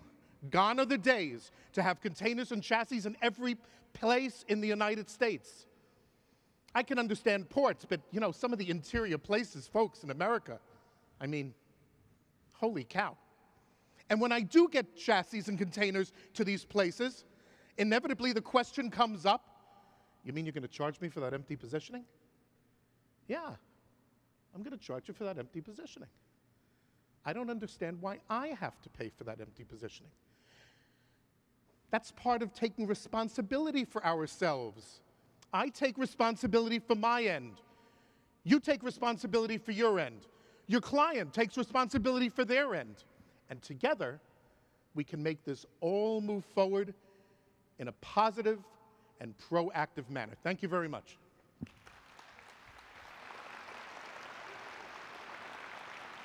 Thank you, Allen. And we want to thank you for sharing that perspective in a very passionate way. Now, this is a forecast event, so let me offer you my prediction. Allen's going to generate a few questions during the Q&A session. But just to remind you, please write them down, hold them. There'll be ample time for that. I can sense the level of energy and excitement growing as we move throughout the, the panel. Can you? Next, it's my pleasure to welcome a friend uh, to Pulse of the Ports and to the Port of Long Beach and that is Mario Cordero, who's the chairman of the Federal Maritime Commission. And I want to pause to thank the chairman and the FMC for recently granting approval to the San Pedro Bay ports, ports of Los Angeles and Long Beach, to have discussions about ways to optimize our supply chain. Chairman Cordero is a Long Beach resident. He is a longtime lawyer in the city and a former eight-year member of the Harbor Board of Commissioners here in, in the Port of Long Beach. And perhaps more importantly, he is a die-hard Dodger fan, and I heard that he bleeds Dodger blue. But perhaps he can confirm that. Chairman Cordero.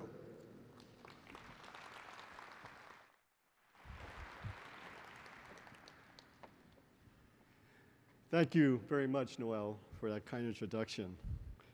Um, as I was listening to Allen speaking, and I listened to the building of the MSC Oliver and listening to the music, it pumps you up, doesn't it? And I say that on a uh, serious note because walking into this room this morning, I was pumped up just by seeing this great room and the reception that the Port Long Beach, of which I was once part of, is giving to the stakeholders on this very important topic and that we discuss once a year. And after watching this setting, partaking in the conversation with the stakeholders, uh, listening to Donna and Allen and Fran, and why would not anyone, why would they not come to the West Coast with what is offered here? And I think I say this, I present this question because I think much of this started years ago. The vision. When you have vision, you have naysayers sometimes, legitimate, I would say. And when I'm speaking about where we need to go in the next decade, and you heard the speakers this morning addressing that question, but where were we 10 years ago? And one of the questions that always is presented with regard to what the Southern California ports have done in the last 10 years has been this question with regard to the green port policy, the environmental aspect, of course. But let us not forget an element of that policy was sustainable development. And the way that we have moved forward not only in the West Coast, but as a nation towards sustainable development, I suggest that despite the challenges we have had and the challenges that we will have in the future, That plan of action has mitigated what could have happened had we not moved forward with sustainable development principles. On that note, I want to make sure that I thank Jon Slangerup for the vision that he has presented in his leadership, the Commission, the Port of Long Beach, and President Doug Drummond, Drummond. Mayor Garcia for being very proactive and hitting the ground and how important Long Beach is and the Port of Long Beach is not only to this region, to this nation. And I'd also like to thank the stakeholders and marine terminal operators, of which I will comment on, uh, that have been here. More specifically, when I talked about sustainable development, what we are seeing coming here is Long Beach Container Terminal, Middle Harbor, the state-of-the-art terminal, and when that comes in the place, uh, it's going to be a different ballgame here. So there's a lot of good news. As you've heard, the economy is getting better. The unemployment aspect is substantially mitigated.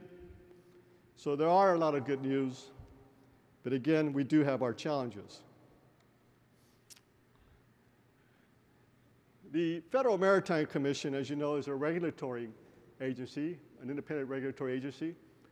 And of the parties they regulate are marine terminal operators. When we look to the history of the FMC as it came to being in 1961 in its present form, after listening to Allen, the new dynamic of the alliances, the big vessels, there's, if there's ever an important time to have a well funded and strong FMC, it is today. Because the vision in 1961 about having an independent regulatory agency to oversee foreign carriers and regulate gateways in the interest of United States commerce, I think it's ever more important today. And I would hope that as we move forward, the FMC could work with you as a partner, facilitate in terms of some of these challenges that have to be obtained. I mentioned marine terminal operators, one of which are the ports, are defined as part of this definition of marine terminal operators. And as you know, that agreements that are uh, engaged in by marine terminal operators or with uh, ocean carriers with port authorities. Many of these agreements are filed with the FMC. Uh, we look at these agreements and we monitor uh, the terms of these agreements. And again, as I stated, if there's ever an important time to do that, it is today. The Shipping Act of 1984 is the authority that the FMC moves forward with with regard to looking at these agreements between vessel operating common carriers, terminal operators, and port authorities. And this component of our purview is ever more important today, as I've stated. And let me touch on the issue of congestion. And I also will touch on the issue specifically on what the FMC's latest uh, work, the release of the report as we termed it, Demurrage report. In the summer of 2014, last year, uh, I, along with my colleagues on the commission, uh, decided to move forward to address this issue of congestion. And there was a question as to whether or not the FMC would move forward with this endeavor. Uh, I believed that we needed to take the lead to address an issue that was ever so important to the nation. That is the congestion on our gateways and to study the cause and effects of what congestion brings. And we absolutely witnessed that uh, in terms of the height of the, that uh, aspect recently here in the West Coast. For 2014, there were 20, 34 million TEUs that were transacted, transported in and out of this country for 2014. That figure, ladies and gentlemen, is not going to get any less. that figure is going to grow. Almost 20 million of those containers in the West Coast. We held four forums last year, the FMC, the first of which was in Los Angeles in September. We had one in Baltimore for the Northeast ports, Charleston for the Southeast, and the last and final forum was in November 2014 in New Orleans to address the Gulf course, the, the Gulf ports. There were some common denominators with regard to congestion, others were specific to a region.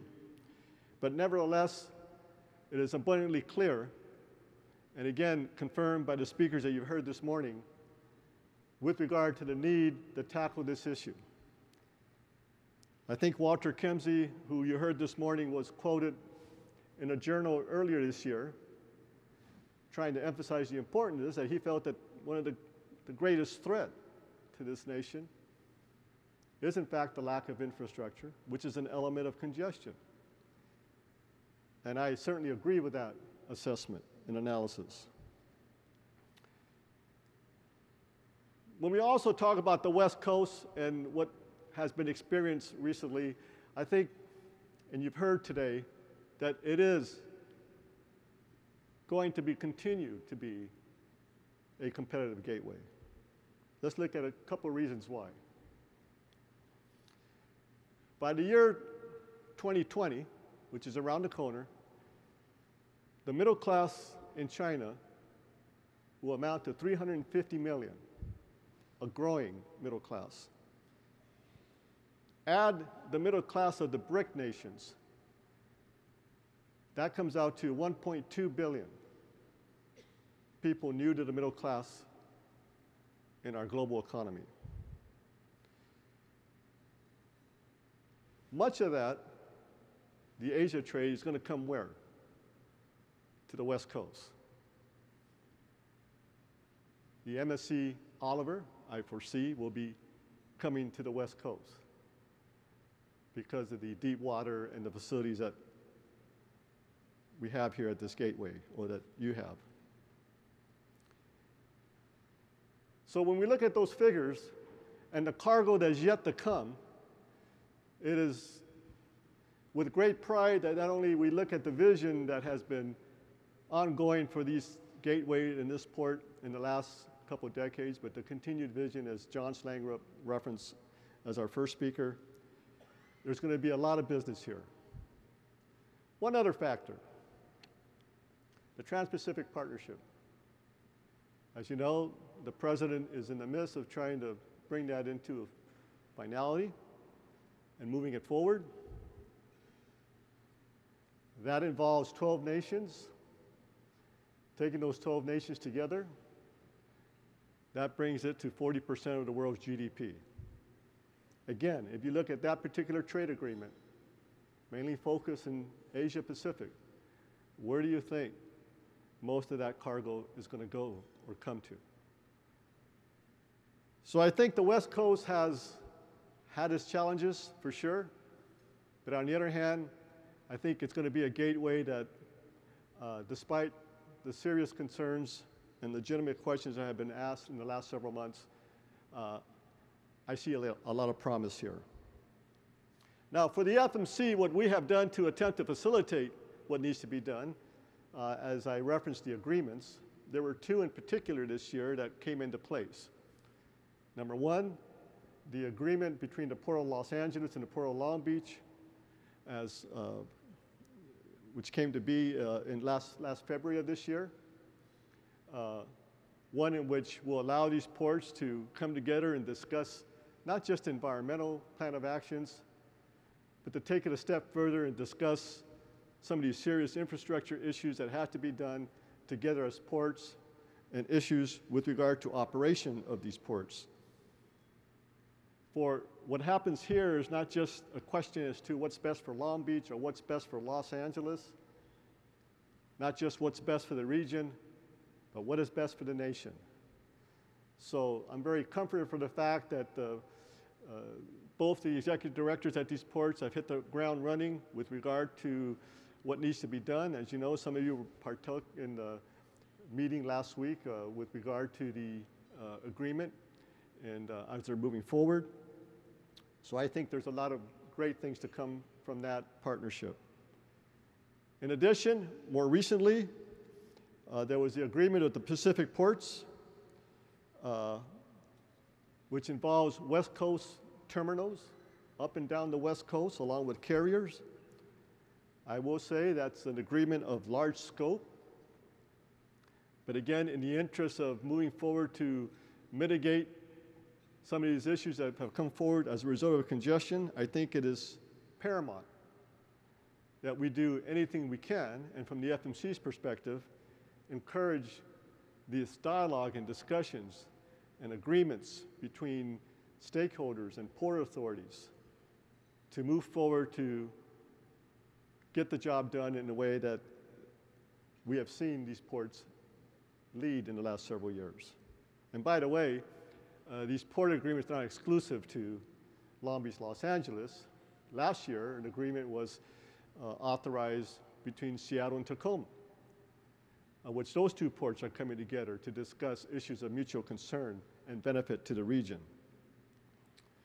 So we can see that as we move forward, there's a lot of good things occurring with regard to the stakeholders in terms of what we're seeing in the next 10 years.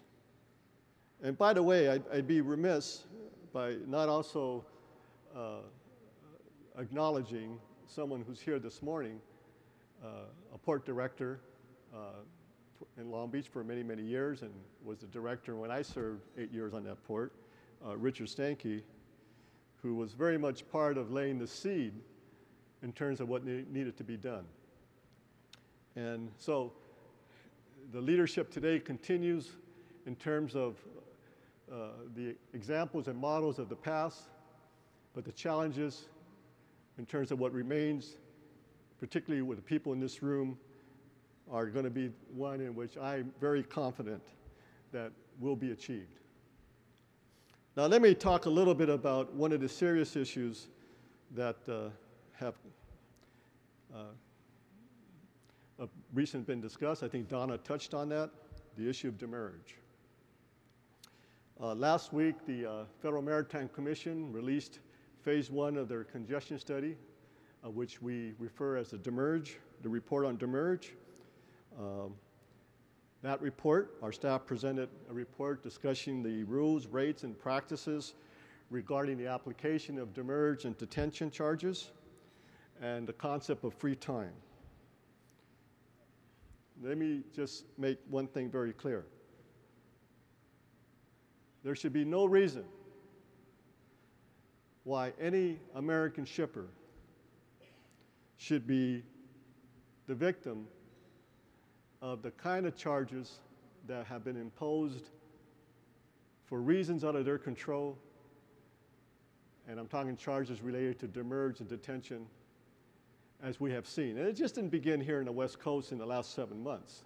You know, I was often uh, asked during the last seven months of the labor negotiations uh, what my opinion was on this question. I thought, as it relates to congestion, I would be disingenuous to the public to represent that uh, if you have a resolution on this labor negotiation, then all of a sudden congestion's gone.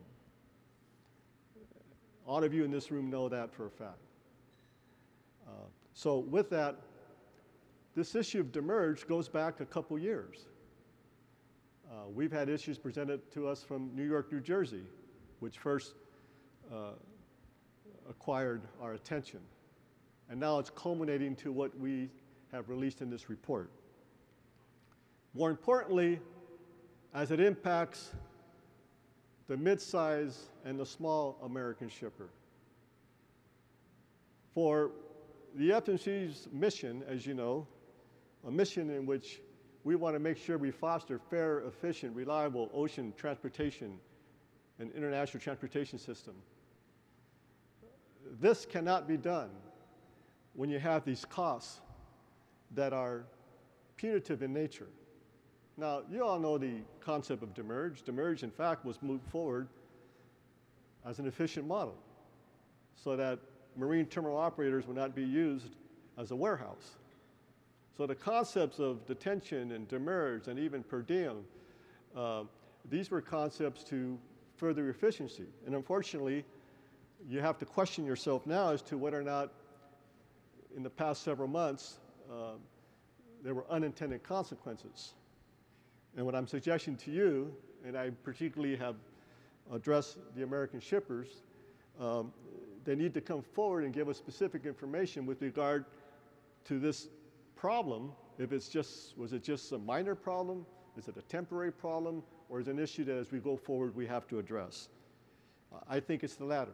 But nevertheless, uh, my challenge to you, uh, to those affected stakeholders, is to communicate those concerns to us. Because one of the aspects that, as you uh, aware that the FMC has engaged in is the alliances, the M2 alliances, the Ocean 3, the G6, the CKYHE. The dynamics have changed. A year and a half ago, uh, the FMC hosted, as I thought what we needed to do was to have a summit with our global regulatory uh, regulators, uh, the European Union and the Chinese. They came to Washington at the FMC, and we had our initial discussions with regard to this whole new concept of alliances. And to better understand our respective regulatory, roles and common challenges. Uh, I am told that in June, just a couple months from now, uh, we're going to hold a second summit, that is the parties, of which the European Union, uh, myself as chairman of F FMC, and the Chinese Transport Ministry will again get together in Brussels to discuss the state of the alliances. Because part of this puzzle, in terms of what the Demurrage report also references, is we cannot point fingers to each other anymore in terms of who's the cause or who caused the shots on the demurrage. Uh, we need to work together and address this problem, and more particular, as I referenced the alliances, you know, I don't think foreign carriers and the alliances are immune from this issue.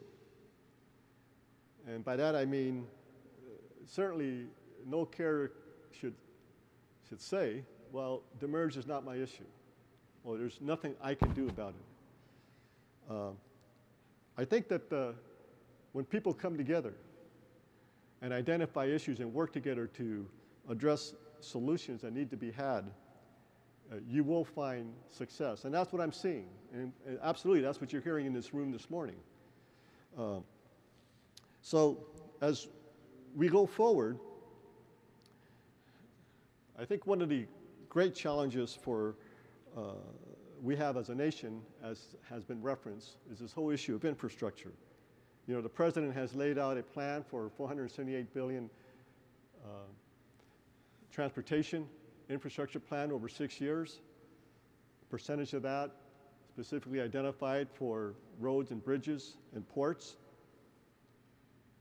But when you compare that to what the rest of the world is doing, let's look at that figure for a similar time period or a little bit beyond.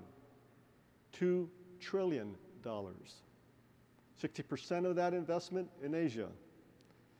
So I think it's clear that our challenges with regard to infrastructure, as you know, the speakers have referenced and Fran specifically noted, are there. I think the time for debate is over, and with the combination of dialogue like what we're having this morning, stakeholders who are so important to this discussion as you are, uh, we need to move forward to make sure that this nation uh, continues to prove what it has proven over history. And I think, as I've said uh, to people who come to Washington, you know, one of the interesting things that uh, kind of drives me sometimes when uh, challenges and frustration comes to comes to play comes in play. Uh, you walk to the presidential monuments, whether it's Lincoln, Roosevelt, Jefferson, and you see the great things that this nation has done. And like Allen, I'm very proud of this history and this nation and what we are able to achieve. There's no end to it if we bring ourselves together and achieve this. One of the other recommendations I have is when you visit Washington, the Science and Space Museum. You walk through that museum one day and you realize that there's nothing that we cannot achieve. I say that all that related to this topic with regard to the infrastructure that's required and the challenges that we have as a nation. And I think when you look at it from that perspective, uh, history will be our guide in terms of what we are able to do. And with regard to the Federal Maritime Commission, uh, I believe that what we are in the course of doing, monitoring the alliances, and when I say monitor the alliances, uh, we are taking this very seriously. Because again, let us not fool ourselves here. We all knew this was coming. It was no surprise to have 14, 16,000 TEUs here in the West Coast. We knew that for years. Uh, and now we're going to have the 19,000 TEUs coming to the West Coast. So the challenges remain, but I believe that when we exercise the kind of vision that particularly the Port of Long Beach has been known for, and you all remember the concerns that, and I know George certainly did. I remember, uh, as I conclude my comments here, George, I remember in 2004, George gave me a call and said, Commissioner, uh, I heard your comments regarding the, your critique of the uh, harbor drayage and the truck scenario here. And he said, so what's, what's your plan? How are you going to solve it? And I said to George, George, I, don't have any idea. But what I do know, we need to discuss this topic, we need to address this issue, and the rest is history. The dialogue and what came together with stakeholders and to achieve something that people thought would, could not be achieved. But the more important thing from all that experience, it was more than just clean trucks. Going back to my comment I made earlier, it was about, it was about sustainable development. So this port does have a history and does have a resume of not only having a vision, but achieving results from that vision. And I look forward to this continued quest that you have here at the Port of Long Beach and on the West Coast, because in my mind, as the President said in relation to the Trans-Pacific Partnership Trade Agreement, when he was asked, his response included the fact that there was, in this region of the world, the USA needed to take control of that agenda. And as it relates to this issue, port authorities need to take control of this agenda and have taken control of it, working with stakeholders such as the marine terminal operators, the carriers, the trucking industry, because there should be no reason. And Allen, I think, referenced one situation in New York, but it's happened in Virginia, where you have these truck lines. There's no reason why a trucker should wait outside a gate an hour and a half, two hours, and in the worst scenarios, four hours to get into a marine terminal operator. We know that is not fair. We all know here that's unreasonable. But the good news is we're working towards solving that, and I believe we will. For I believe that is the pulse of the ports. Thank you so much.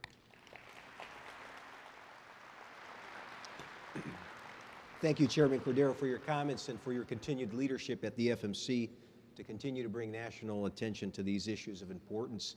We now turn our attention to another vital segment of our supply chain, and that's the railroads.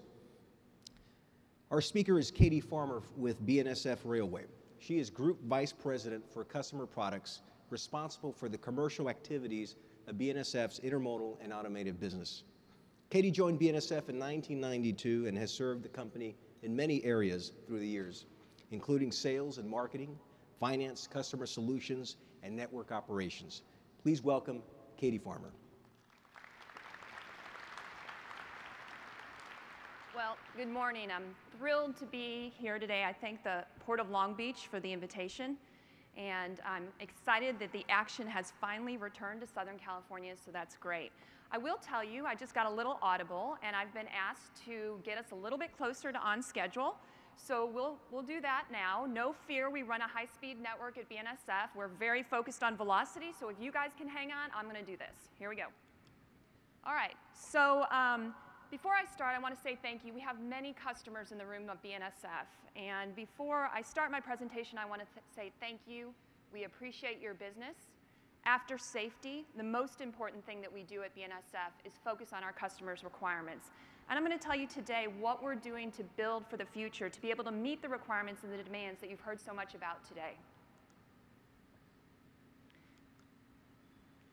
A little bit about us. We are a wholly owned subsidiary of Berkshire Hathaway. In 2014, we moved 10 million units across the four commodity areas that you see. I have responsibility for consumer products, which is in, uh, international intermodal, domestic intermodal, and automotive. Now, we're a little unique versus the other Class 1 railroads in that fully 50% of all the volume that we move at BNSF is in our consumer products business unit. So we're very focused on intermodal at BNSF. Again, 50% of everything we handle is intermodal. You've probably also, over the last year, heard quite a bit about crude by rail. To give you some perspective, crude by rail is less than 5% of our volume. So it just shows you the, the difference between the two commodities as far as volume. In addition to that, we handle about uh, well over 50% of everything that goes out of the San Pedro Bay Port Complex intermodally moves on BNSF. We move 5 million intermodal shipments. You can see that that's about a million more than our next largest competitor. So again, we feel that we are very well focused on intermodal and we have an advantage when it comes to intermodal. Our BNSF network was designed for high-speed intermodal. You can see that we work well with the eastern carriers. We try to provide seamless network service to the east. We also offer direct rail service, the only direct rail service to, to, Atlanta, Georgia off of the West Coast. And we're excited, in the last year and a half, we introduced the first only intermodal direct rail service to Silao, Mexico. And if you don't know where Silao, Mexico is, that's in the Bajío region. Working with the FXE, we are trying to put together an intermodal service that meets the demand of the fastest growing region in Mexico from an economic development perspective a lot of auto manufacturers, uh, merchandise manufacturers, so we're excited about that product as well. I mentioned the intermodal advantage that we have. What we think that that kind of density does for us, it allows us to do things like offer the most schedules off of the West Coast. Every week, we offer 100 eastbound departures from Southern California and the PNW into the interior of the country. And customers can use two different services with us. They can use our domestic product. So goods that come into the West Coast can be transloaded and deconsolidated in the great infrastructure that exists here in Southern California and put into a 53-foot container and moved to the interior of the country. We offer multiple service levels to be able to do that, and we're very focused, in addition to bringing it off the West Coast, we're also very focused in our domestic business in converting uh, over-the-road freight and working with our large trucking partners. I mentioned to you that we're uh, the leader in intermodal and the leader in international intermodal. We have um, worked very hard to create logistics parks around the country. You heard some discussion about those earlier today. We currently have logistics parks in Chicago, Kansas City, Memphis, and, and the Alliance area in Fort Worth. We use those logistics parks and the intermodal hub that exists there as the anchor. And then we have customers, many of you in the room, that have located your DCs or your warehouses adjacent to those. Those logistics parks also give us the opportunity to match back commodities on boxes that are made empty in the interior of the country, and we've heard about that today as well. It allows us to load many of the, co the commodities that you heard discussed earlier into that box load it back to the West Coast. It improves the velocity, it improves our customers' utility on those boxes as well. Other utilization efforts that we're working on are, are on dock. We were an innovator in this area as well. Out of the San Pedro Bay Port Complex, 75% of everything that we move inland originates on dock. Now, while we know that's a very efficient way to move it, we also recognize, as has been discussed today, that we need near dock capacity as well. We operate our Hobart Yard, which is in East, Los East of Los Angeles, and it is the largest inland intermodal port in the inland intermodal facility in the country. We also know that we have an opportunity to improve the efficiency of the supply chain. And as such, we're working on the Southern California International Gateway Project, which I'll talk about in a moment. There's strong momentum for container growth in the industry. This is a look at the entire industry. It's grown 3 million units or 25% from 2006 to 2014. So we're going to do our best to be able to have the capacity that's needed to be able to handle that growth. And here's what BNSF is doing about it. In 2014, we spent $5.5 billion. That was a record in the industry ever spent by any railroad to add capacity. And in 2016, we're going to up the ante, and we're in the process of spending $6 billion. This will give us the flexibility to respond to the dynamic changing economic environment and have that capacity to be able to flex when you need it. Here's how we invested those capital dollars in 2014. 2.6 was on improvement in our network, high, in relaying rail, replacing ties. $1.5 billion was on expansion and efficiency capacity, 80 miles of double track that we added. In addition, we spent $1.4 billion on locomotives, freight cars, and other equipment. And I, would tell, I will tell you that those new 600 locomotives, the new 7,000 employees that we hired, allowed us to very quickly flex up when the, when the agreement was reached with the, the labor unions and management allowed us to be able to very quickly flex up and be able to move much of the backlog off of the ports. In 20, 2015, $6 billion will be spent, again, an industry record. $3 billion of this will be spent on making our rail, high-speed rail um, infrastructure that will support our high-speed network for intermodal. $1.5 billion again will be spent on pure expansion projects. An example of one of those expansion projects on our northern corridor, we will install 800 miles of centralized, centralized train control. What this allows us to do is remove the manual processes of moving trains across our network and more efficiently and with more velocity move more trains across our network. In addition, we'll be spending money on our intermodal facilities more lift capacity, more strip track capacity. And we'll, co we'll continue to work on our high-speed network between LA and Chicago. Over the last decade, we've spent $3 billion to double track this part of our network. What it does, it allows us to run the fastest product between Chicago and LA Long Beach. When we get done with the 28 miles of double track that we'll be doing this year, we will have only seven miles on that stretch between Southern California and Chicago left to double track. What does this allow us to do? It allows us to do what you need us to do, which is to continue to improve our velocity and to continue to improve our on-time performance. As you can see from this chart, even through all of the challenges that we had in the supply chain, BNSF remained the fastest intermodal network, and you can see that through the capital dollars and the resources we're spending, we're continuing to widen that gap. One of the efficiency projects that we know will also improve the supply chain is our Southern California International Gateway Project. Located uh, very close, a near dock facility, it will reduce millions of truck miles between the docks and downtown Los Angeles. When it's constructed, it will be the greenest intermodal facility in the world. And quite frankly, it's a shame that we did not have this. We've been working for over a decade. It's been held up by local opposition and permitting challenges in court. I can tell you, had we had this facility, it would have helped us over the last nine months. BNSF is working hard to support the recovery of the West Coast. When we got the notification that a tentative deal was reached, we had over 100 trains of equipment in storage. We moved quickly and ramped up within just a few weeks from moving 20 trains off the Southern California on-dock facilities to over 60 trains. We know that we have to continue to collaborate with our customers and our terminals, and we will continue to invest and work on projects that generate capacity and improve our efficiency. Thank you. Thank you, Katie. That was excellent. Our next speaker will address trucks and drayage. David Duncan is the Chief Operating Officer and the fourth generation owner of Duncan and Son Lines Incorporated, a company based in Buckeye, Arizona for more than 70 years. The company specializes in intermodal drayage, operating more than 200 company owned trucks between the ports of Long Beach and Los Angeles.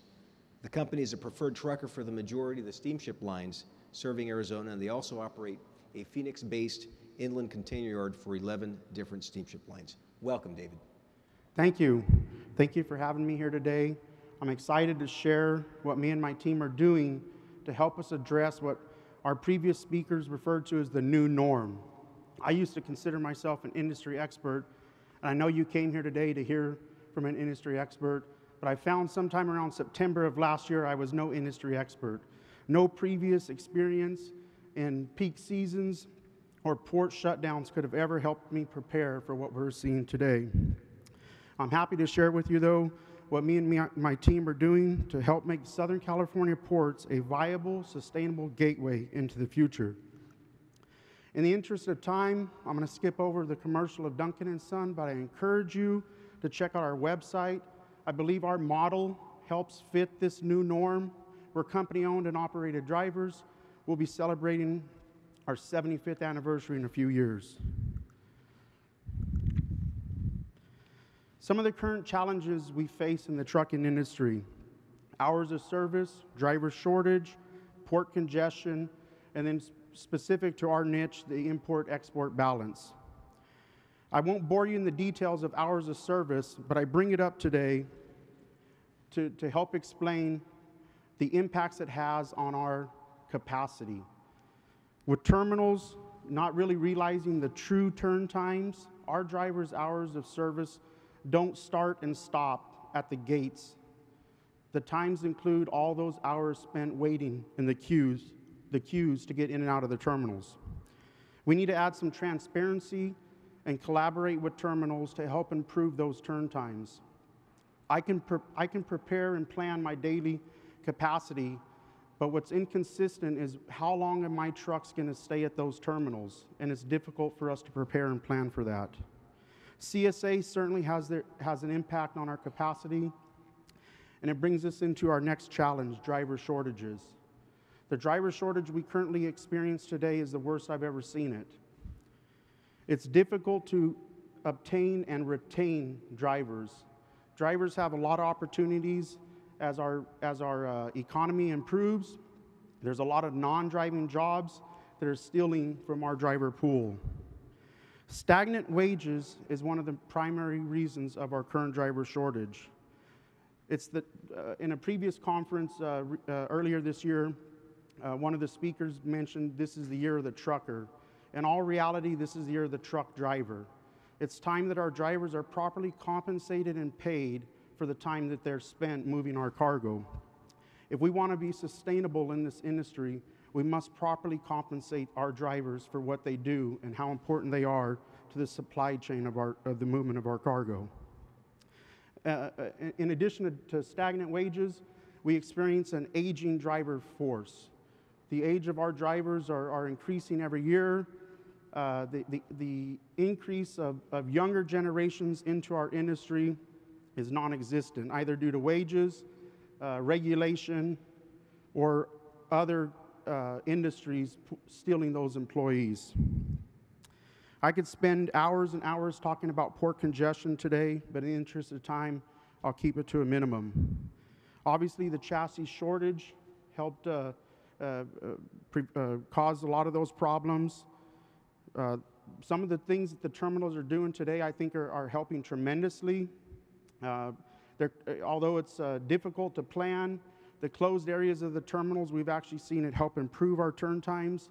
We just need a little more increased uh, visibility to that and, and allowing the truckers in the terminals to collaborate and in moving the cargo.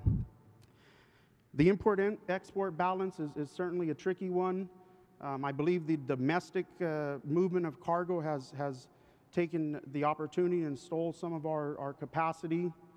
The driver shortage is not just uh, part of the problem of port drayage, it's a nationwide, it's an industry wide problem.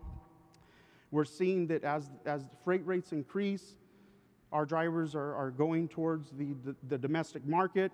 It's forcing those previous shippers that have shipped uh, domestically to the West Coast and transload. We're seeing those shippers uh, uh, wanting to utilize inland equipment to move that cargo, and it's, uh, it's drying up the availability of empties, particularly during export peak seasons.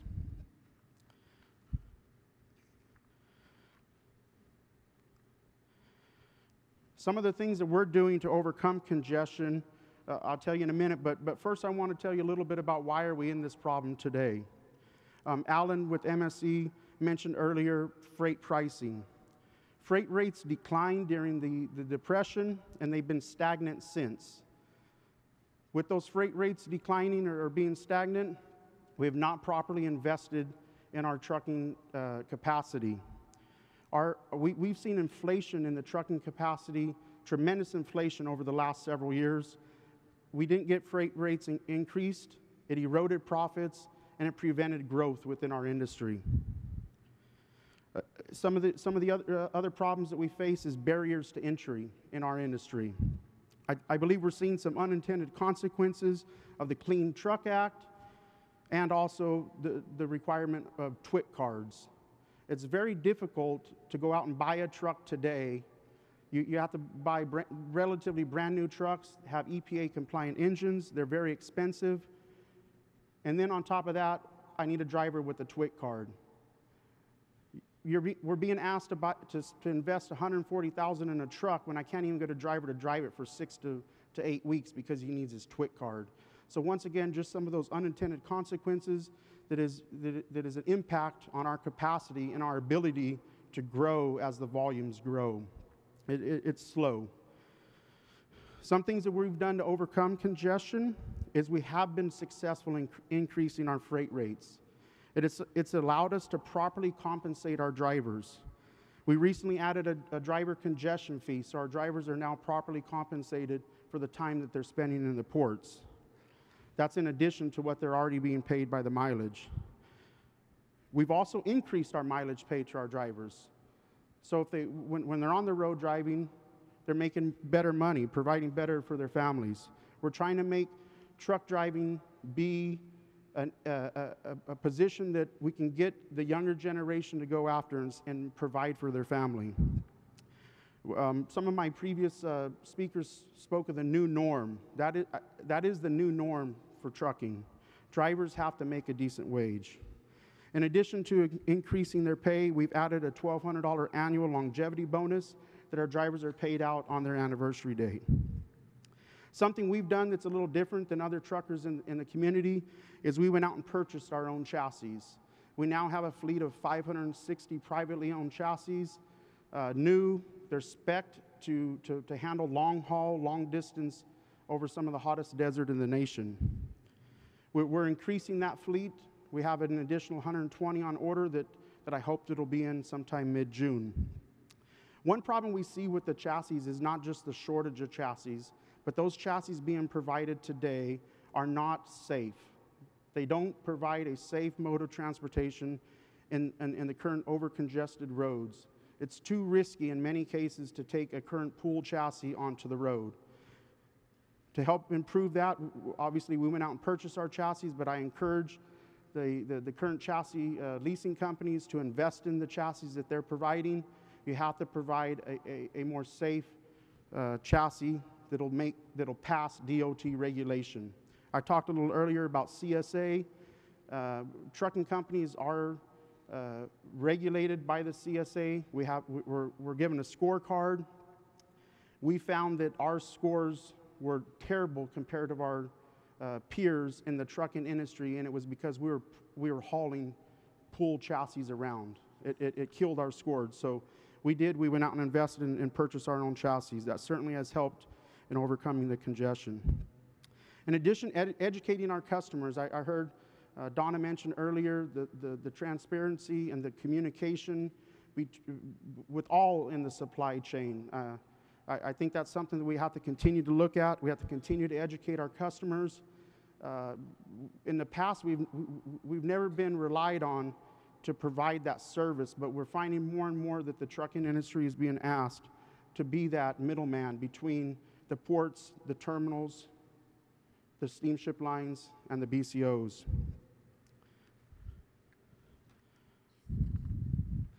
The supply chain of the, of the future is an ever evolving supply chain. I think it's important that we break down the silos in the current supply chain. We, we, we need to add transparency, we need to collaborate. Truckers need to, need to work with terminals. Um, terminals need to embrace technology to improve turn times, to allow us to utilize our capacity in the most efficient manners. We need more gate hours. The dray off, peel off program, I, I, I think, is, is, is a viable one. I encourage the terminals to continue to collaborate with truckers and finding a way to, to improve that and make it, make it uh, uh, viable.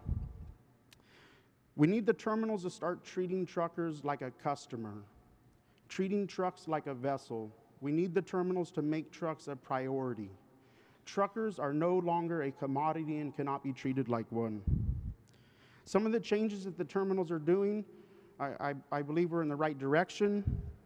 Um, one disconnect we have today, though, is some of the previous programs are inadequate and need to be overhauled. That would be PierPASS and the tariff free times. To have containers in closed off areas uh, three or even four days out of my four free days at a port is, is not sustainable. We need to overhaul that program. If, uh, we, we understand why the terminals want to put containers in closed off areas. Uh, we've seen it do, have some improvements, but, but we need to overhaul that program. When customers are forced to pay PierPASS because it's the only time we can get in and out of the ports, once again, is not sustainable.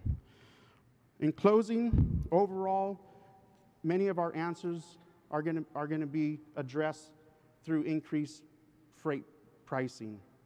I hate to be the bearer of bad news, but a takeaway from today is increase your annual budgets for transportation. Thank you. Thank you, David. Very complete and succinct at the same time. We're down to our final speaker, folks, and we appreciate your patience. As you could probably tell, we're running a little behind schedule, but uh, we promise to move this along. To complete our end to end look at the supply chain, Louis DeJianne is here to give us an insider's view of the last mile. Louis is the Director of Marketing for UPS's Southern California District in downtown Los Angeles. Louis?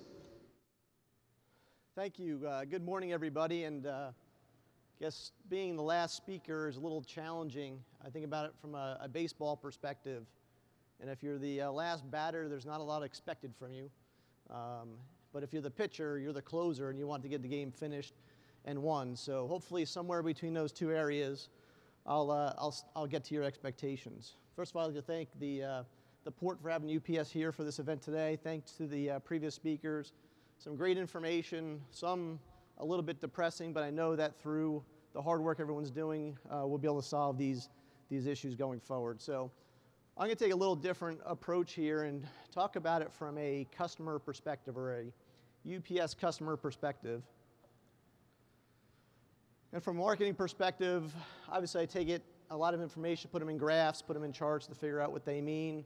And so I just want to start here with a couple things. the impact of the port congestions from a short term, from a UPS perspective, you can say, yes, a lot more freight was moved through the air. So that's a good thing from a UPS perspective, whether it be air freight or small, pack, small package business. So UPS did see some benefits from that.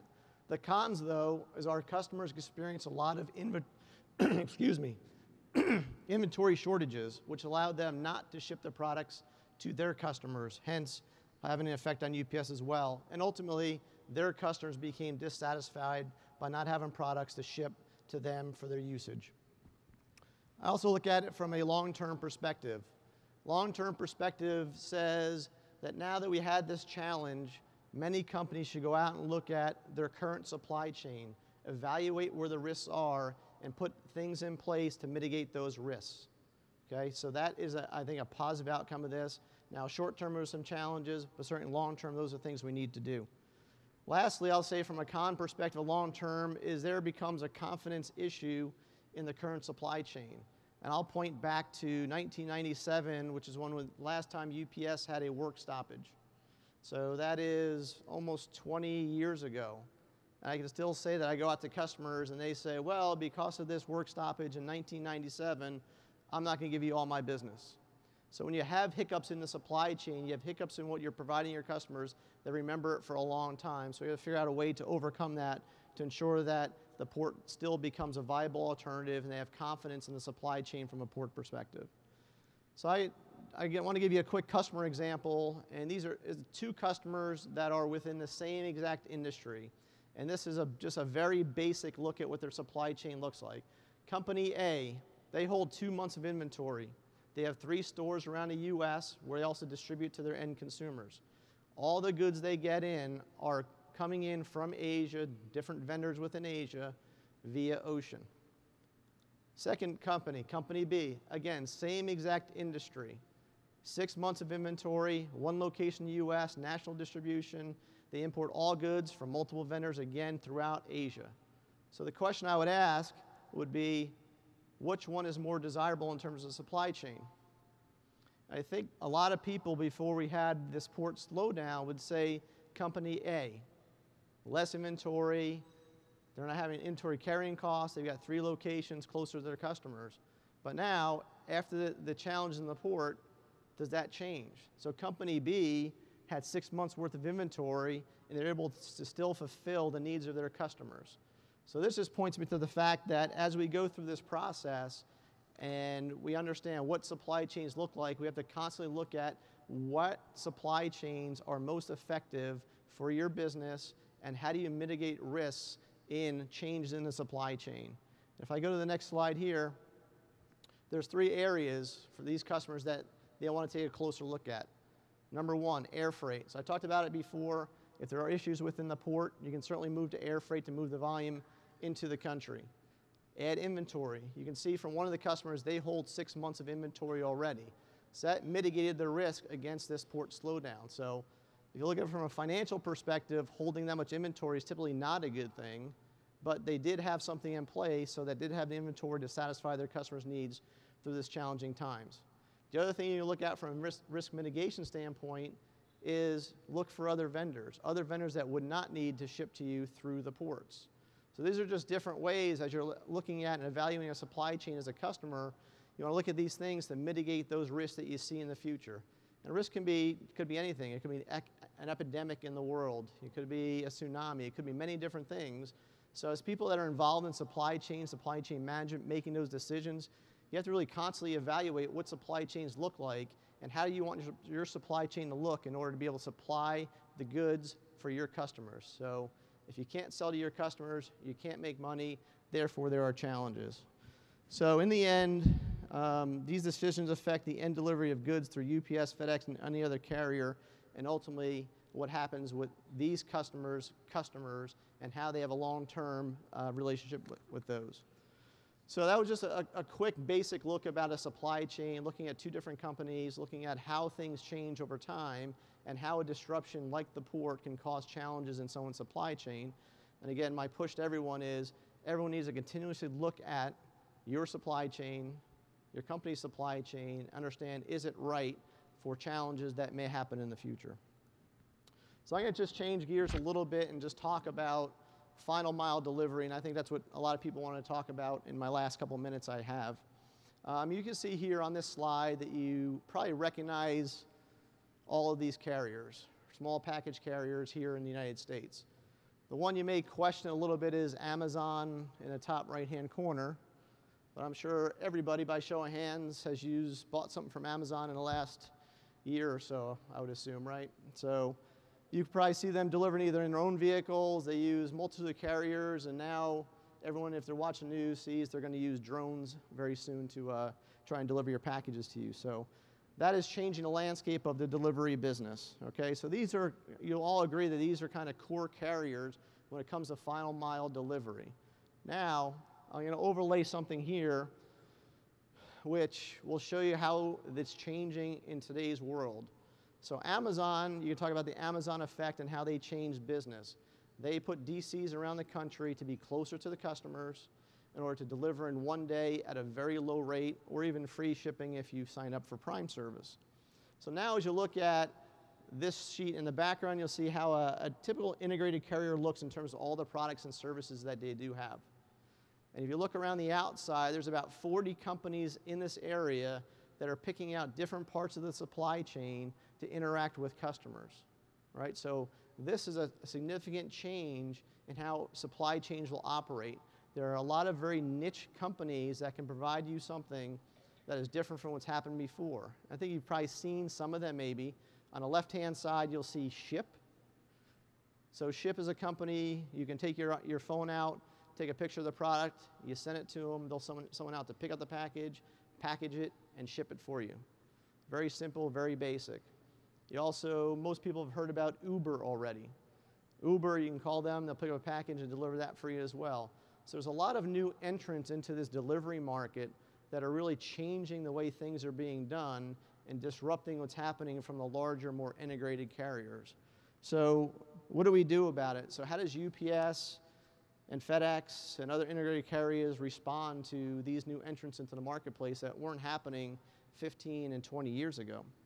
So from a UPS perspective, I can speak from that, is we've implemented a lot of technology around deliveries of packages. We have a program that we call Orion. It basically networks and routes our drivers route every day to optimize their delivery of packages and pickup of packages. Number one, it minimizes the miles they drive, but also provides consistent delivery to their customers. So if you're a consumer, we can tell you exactly when the package is going to be delivered. On top of that technology, we have a company called uh, technology called My Choice. Hopefully, people have heard of My Choice. I encourage everyone to sign up for My Choice because that gives the power of the delivery to the consumer. So you sign up for the service, any packages come into your house, you get an email, you can say delivered at a different time, delivered to a different location, etc. So it puts the power of that delivery into your hands. Again, something that's changing in that final mile delivery. We as UPS or ABC company isn't controlling that anymore. Now the consumer has the power to route that package, get it delivered where they want, when they want it delivered. The other thing we've put in place is access points. So if you're not home, you're going to be at work, you're going to be somewhere else, you can route a, route a package to an access point. So that's a store or a UPS store, and you go by later in the day and pick it up. So that's providing that additional convenience to our customers in case they're not home to receive that package. There's also a lot of other technology like mobile applications you can go on. You can request uh, a pickup. You can see when the package is going to be delivered. Um, and you can actually process packages as well. So through the change over the last 10 or so years, technology has really driven a lot of changes in the transportation market from a consumer standpoint and also an efficiency standpoint. Without these technologies, we wouldn't be able to deliver to our customers the needs they have today. So with that, I'm going to I'm gonna just give you one quick story. Uh, I know we're running short on time, and I borrowed this story, so I won't claim it was mine that I came up with, but think about this. Hypothetically, Imagine a world in which a fitness tracker knows its owner is reaching the end of a long run and needs to hydrate. After pinging the runner's smart fridge, the fitness tracker determines that the runner is out of their favorite sports drink and places an order for a case of the beverage from a retailer of choice. Before placing the order, the fitness tracker connects to the, the runner's daily calendar in their smartphone and knows that there's a, a small gap in between projected of the end of the race and their next planned activity. The order is placed, and the runner has their beverage with plenty of time to consume the drink before their next event. So, the, the consumer is happy, and retailer just benefited from a non traditional selling opportunity enabled by Internet of Things and customers' logistics. As you can see from this, the when and where is the easy part. Now the supply chain needs to also answer the hows, and the whys for our consumers. And I think we start off the, the session talking about peak and what we're doing to change peak. And everyone's probably heard about UPS in the past couple of years with peak. Back in 2013, uh, with some weather issues, uh, volume fluctuations, it was a challenging peak for UPS. Uh, throughout the course of 2014, we invested over a half a billion dollars in new buildings, new facilities, new infrastructure, to satisfy the customer's needs, and we did a great job in 2014 in order to do that. We know we need to go further in 2015 as well for peak season. There's more um, infrastructure being built, more vehicles being purchased to ensure that peak 2015 will be successful. With that, thank you. Appreciate your time. Thank you, Louis. A lot of activity going on there in the last mile. Well, this completes our series of speakers. What follows now is the Q&A session, which we will abbreviate because of time. But as Bill Mongelluzzo comes, comes up, I would like to remind you that you can submit your questions online at pulse at polb.com. That's pulse at polb.com. And any questions we don't get to this morning, we will answer via email. So, Bill? Thank you very much. Uh, thank you very much, Noel. Uh, can you hear me? Yeah. Oh, okay. Um, while our speakers are taking their seats, um, let me just thank uh, the Port of Long Beach. And um, uh, these are our sources. The Journal of Commerce appreciates being on the same stage with them. Um, so, uh, uh, are we coming up? Yeah, I, I, just sit down. No, it doesn't really matter where, where you're sitting. Okay, uh, we already have um, Katie up here, so let, let's get started. Um, Katie, the, the winter of 2013 to 2014 uh, in the East was very brutal. It resulted in disruptions of intermodal rail service for all of the railroads.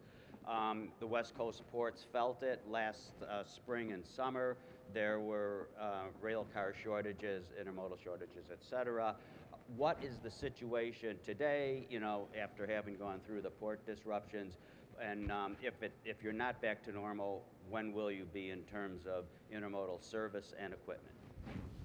So um, by any metric that you, am I on? Okay. Uh, by any metric that you look at, um, we have made tremendous progress uh, since end of 2013, beginning of 2014.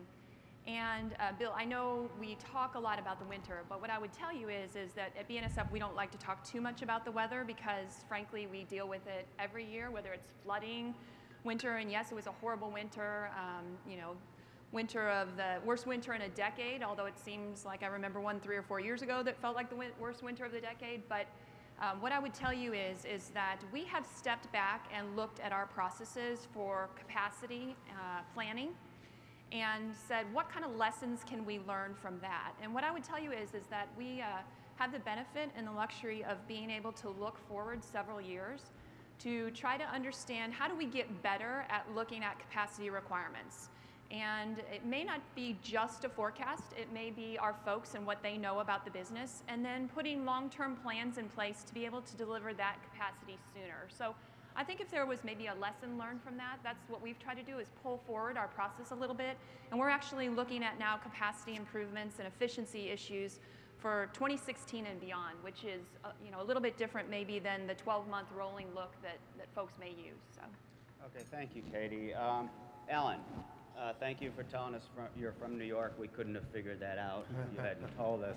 Um, Journal of Commerce yesterday, we had a story quoting Alphaliner. Six new all-water services this summer are going to be started uh, to the East Coast. I didn't think you carriers could make money uh, on Panamax ships. Some of those will go through the Panama Canal.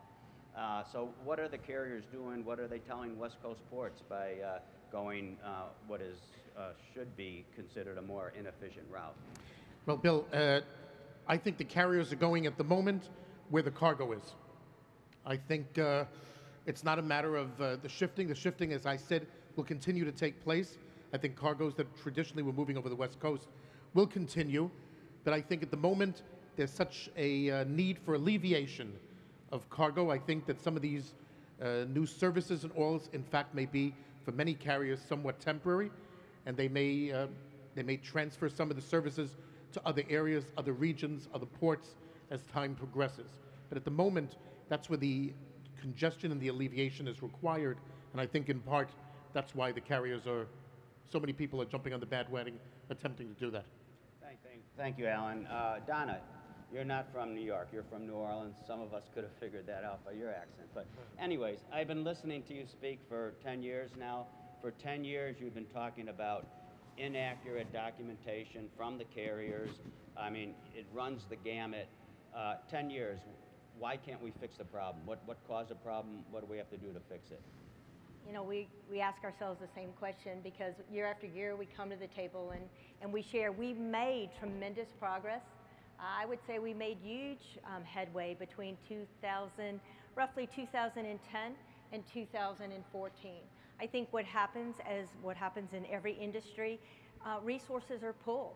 And so we do need the carriers, we need their IT resources, we need our own resources as shippers in the community. All of us are stretched and pulled.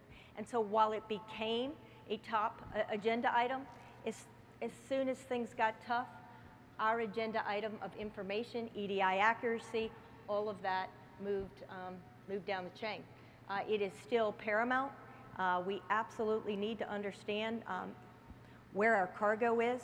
Uh, we need visibility to those inland infrastructure moves, and mo most importantly, our confirmed on boards. We need to know when we're sailing, and now more and more of our shipping community is needing to know arrival uh, information at destination. So. Thank you, Donna. Uh, Mario, uh, welcome back to Long Beach. Uh, I used to see Mario running all the time in Heartwell Park, and uh, haven't seen him much lately. Uh, uh, you referenced the demurrage and uh, detention report that the FMC put out on the 13th. Uh, I mean, most folks here know that the UIIA and you know IANA administers the UIIA. That really you know defines what the rules are for detention and demurrage. So, what is the FMC bringing to the table? What can the FMC do for cargo interests, uh, motor carriers that feel they've been wronged? Well, first of all, I, I would welcome all of you to go on our website to get a copy of that report. Uh, that report will, will note eight possible actions, options that the FMC can do to address the issue. Uh, as I referenced, you know, there's a component of that uh, our regulation that uh, we regulate the uh, marine terminal operators. And I think to the extent of the demurrage question, I think this is clearly a question that the American shipper is very angry about, have communicated their concerns to us. So again, uh, if you refer to the report, there's eight possible actions that the FMC can take. Uh, we have not decided which one of those eight that we will move forward with, if any. Right now, we're encouraging the industry to give us the substantive information with regard to some of this scenario that we've uh, uh witnessed uh, as an industry. Uh, so I think we could uh, not just facilitate, but look into the matter, particularly with regard to the demurrage costs that are being paid. Thank you, Mario. Uh, David, you talked about the need to retain drivers. You know, it all starts with money, um, and you talked about raising rates. What kind of response are you getting from the shipping lines, from the beneficial cargo owners when you go to them and say, listen, you know, last year's rate isn't going to cut it anymore if you want to ensure you're going to have capacity this year? What response are you getting? Um, for the most part, uh, very good response. I, I, spent the better part of yesterday meeting with several of our uh, steamship line partners, and, and, those conversations went very well. And for the most part, our, our rates are. Uh, are being increased. Um, I believe the part, the, all in the supply chain understand the importance uh, of the trucker and moving the cargo and have realized that, that they have seen Christmas over the last five years in stagnant uh, freight pricing. So um, I guess maybe it is, uh, as our uh, previous, uh, in one of our previous conferences, uh, maybe it is the year of the trucker also. Thank you, David. Um, we have a, a, a hard 10:30 cutoff time. That means time for one more question. Does anybody out there have a question that you would like to ask? Oh, what the heck? Uh, okay, I don't, I don't see anybody. Of course. Uh, okay, then uh, I'll, I'll, I'll, take it for myself. Uh, Walter, um, it, I know the dollar, as you said, is, is affecting U.S. exports, the strong dollar. Um, are there in the ag sector, though, uh, can the efficiency of the U.S. farmer overcome some of the um, higher costs of our products overseas, especially in Asia with the growing middle class? Do you think we can at least salvage a decent ag export market this year? Uh, it's going to be a little difficult, um, partly because the production cost differential that the U.S. used to have as a big advantage has been eroded. Many countries have started to consolidate their farms into much larger operations and the scale economies have brought the costs down. And these days, it is all about the transportation cost. The lower the transportation cost, the greater your reach. The higher the transportation cost, the more limited your market is. perfect. I, I couldn't ask for any uh, better and more succinct answers. Uh, uh, Noel, I think it's over to you. Terrific. Bill Mongelluzzo, thank you again so much for those great questions. Ladies and gentlemen, please join me in thanking all of our speakers for their participation today. We also want to thank everyone whose efforts made this 11th annual Pulse of the Ports event possible. Uh, Port staff, uh, especially the business development and communications divisions who planned the event, made it run so smoothly. Our fantastic speakers who so generously shared their time and expertise. And of course, all of you who are here and are watching for making this the best attended Pulse of the Ports event in our history. Thank you again so much for joining us. We'll see you again in 2016. Take care. Hey, thank you so much. I appreciate it.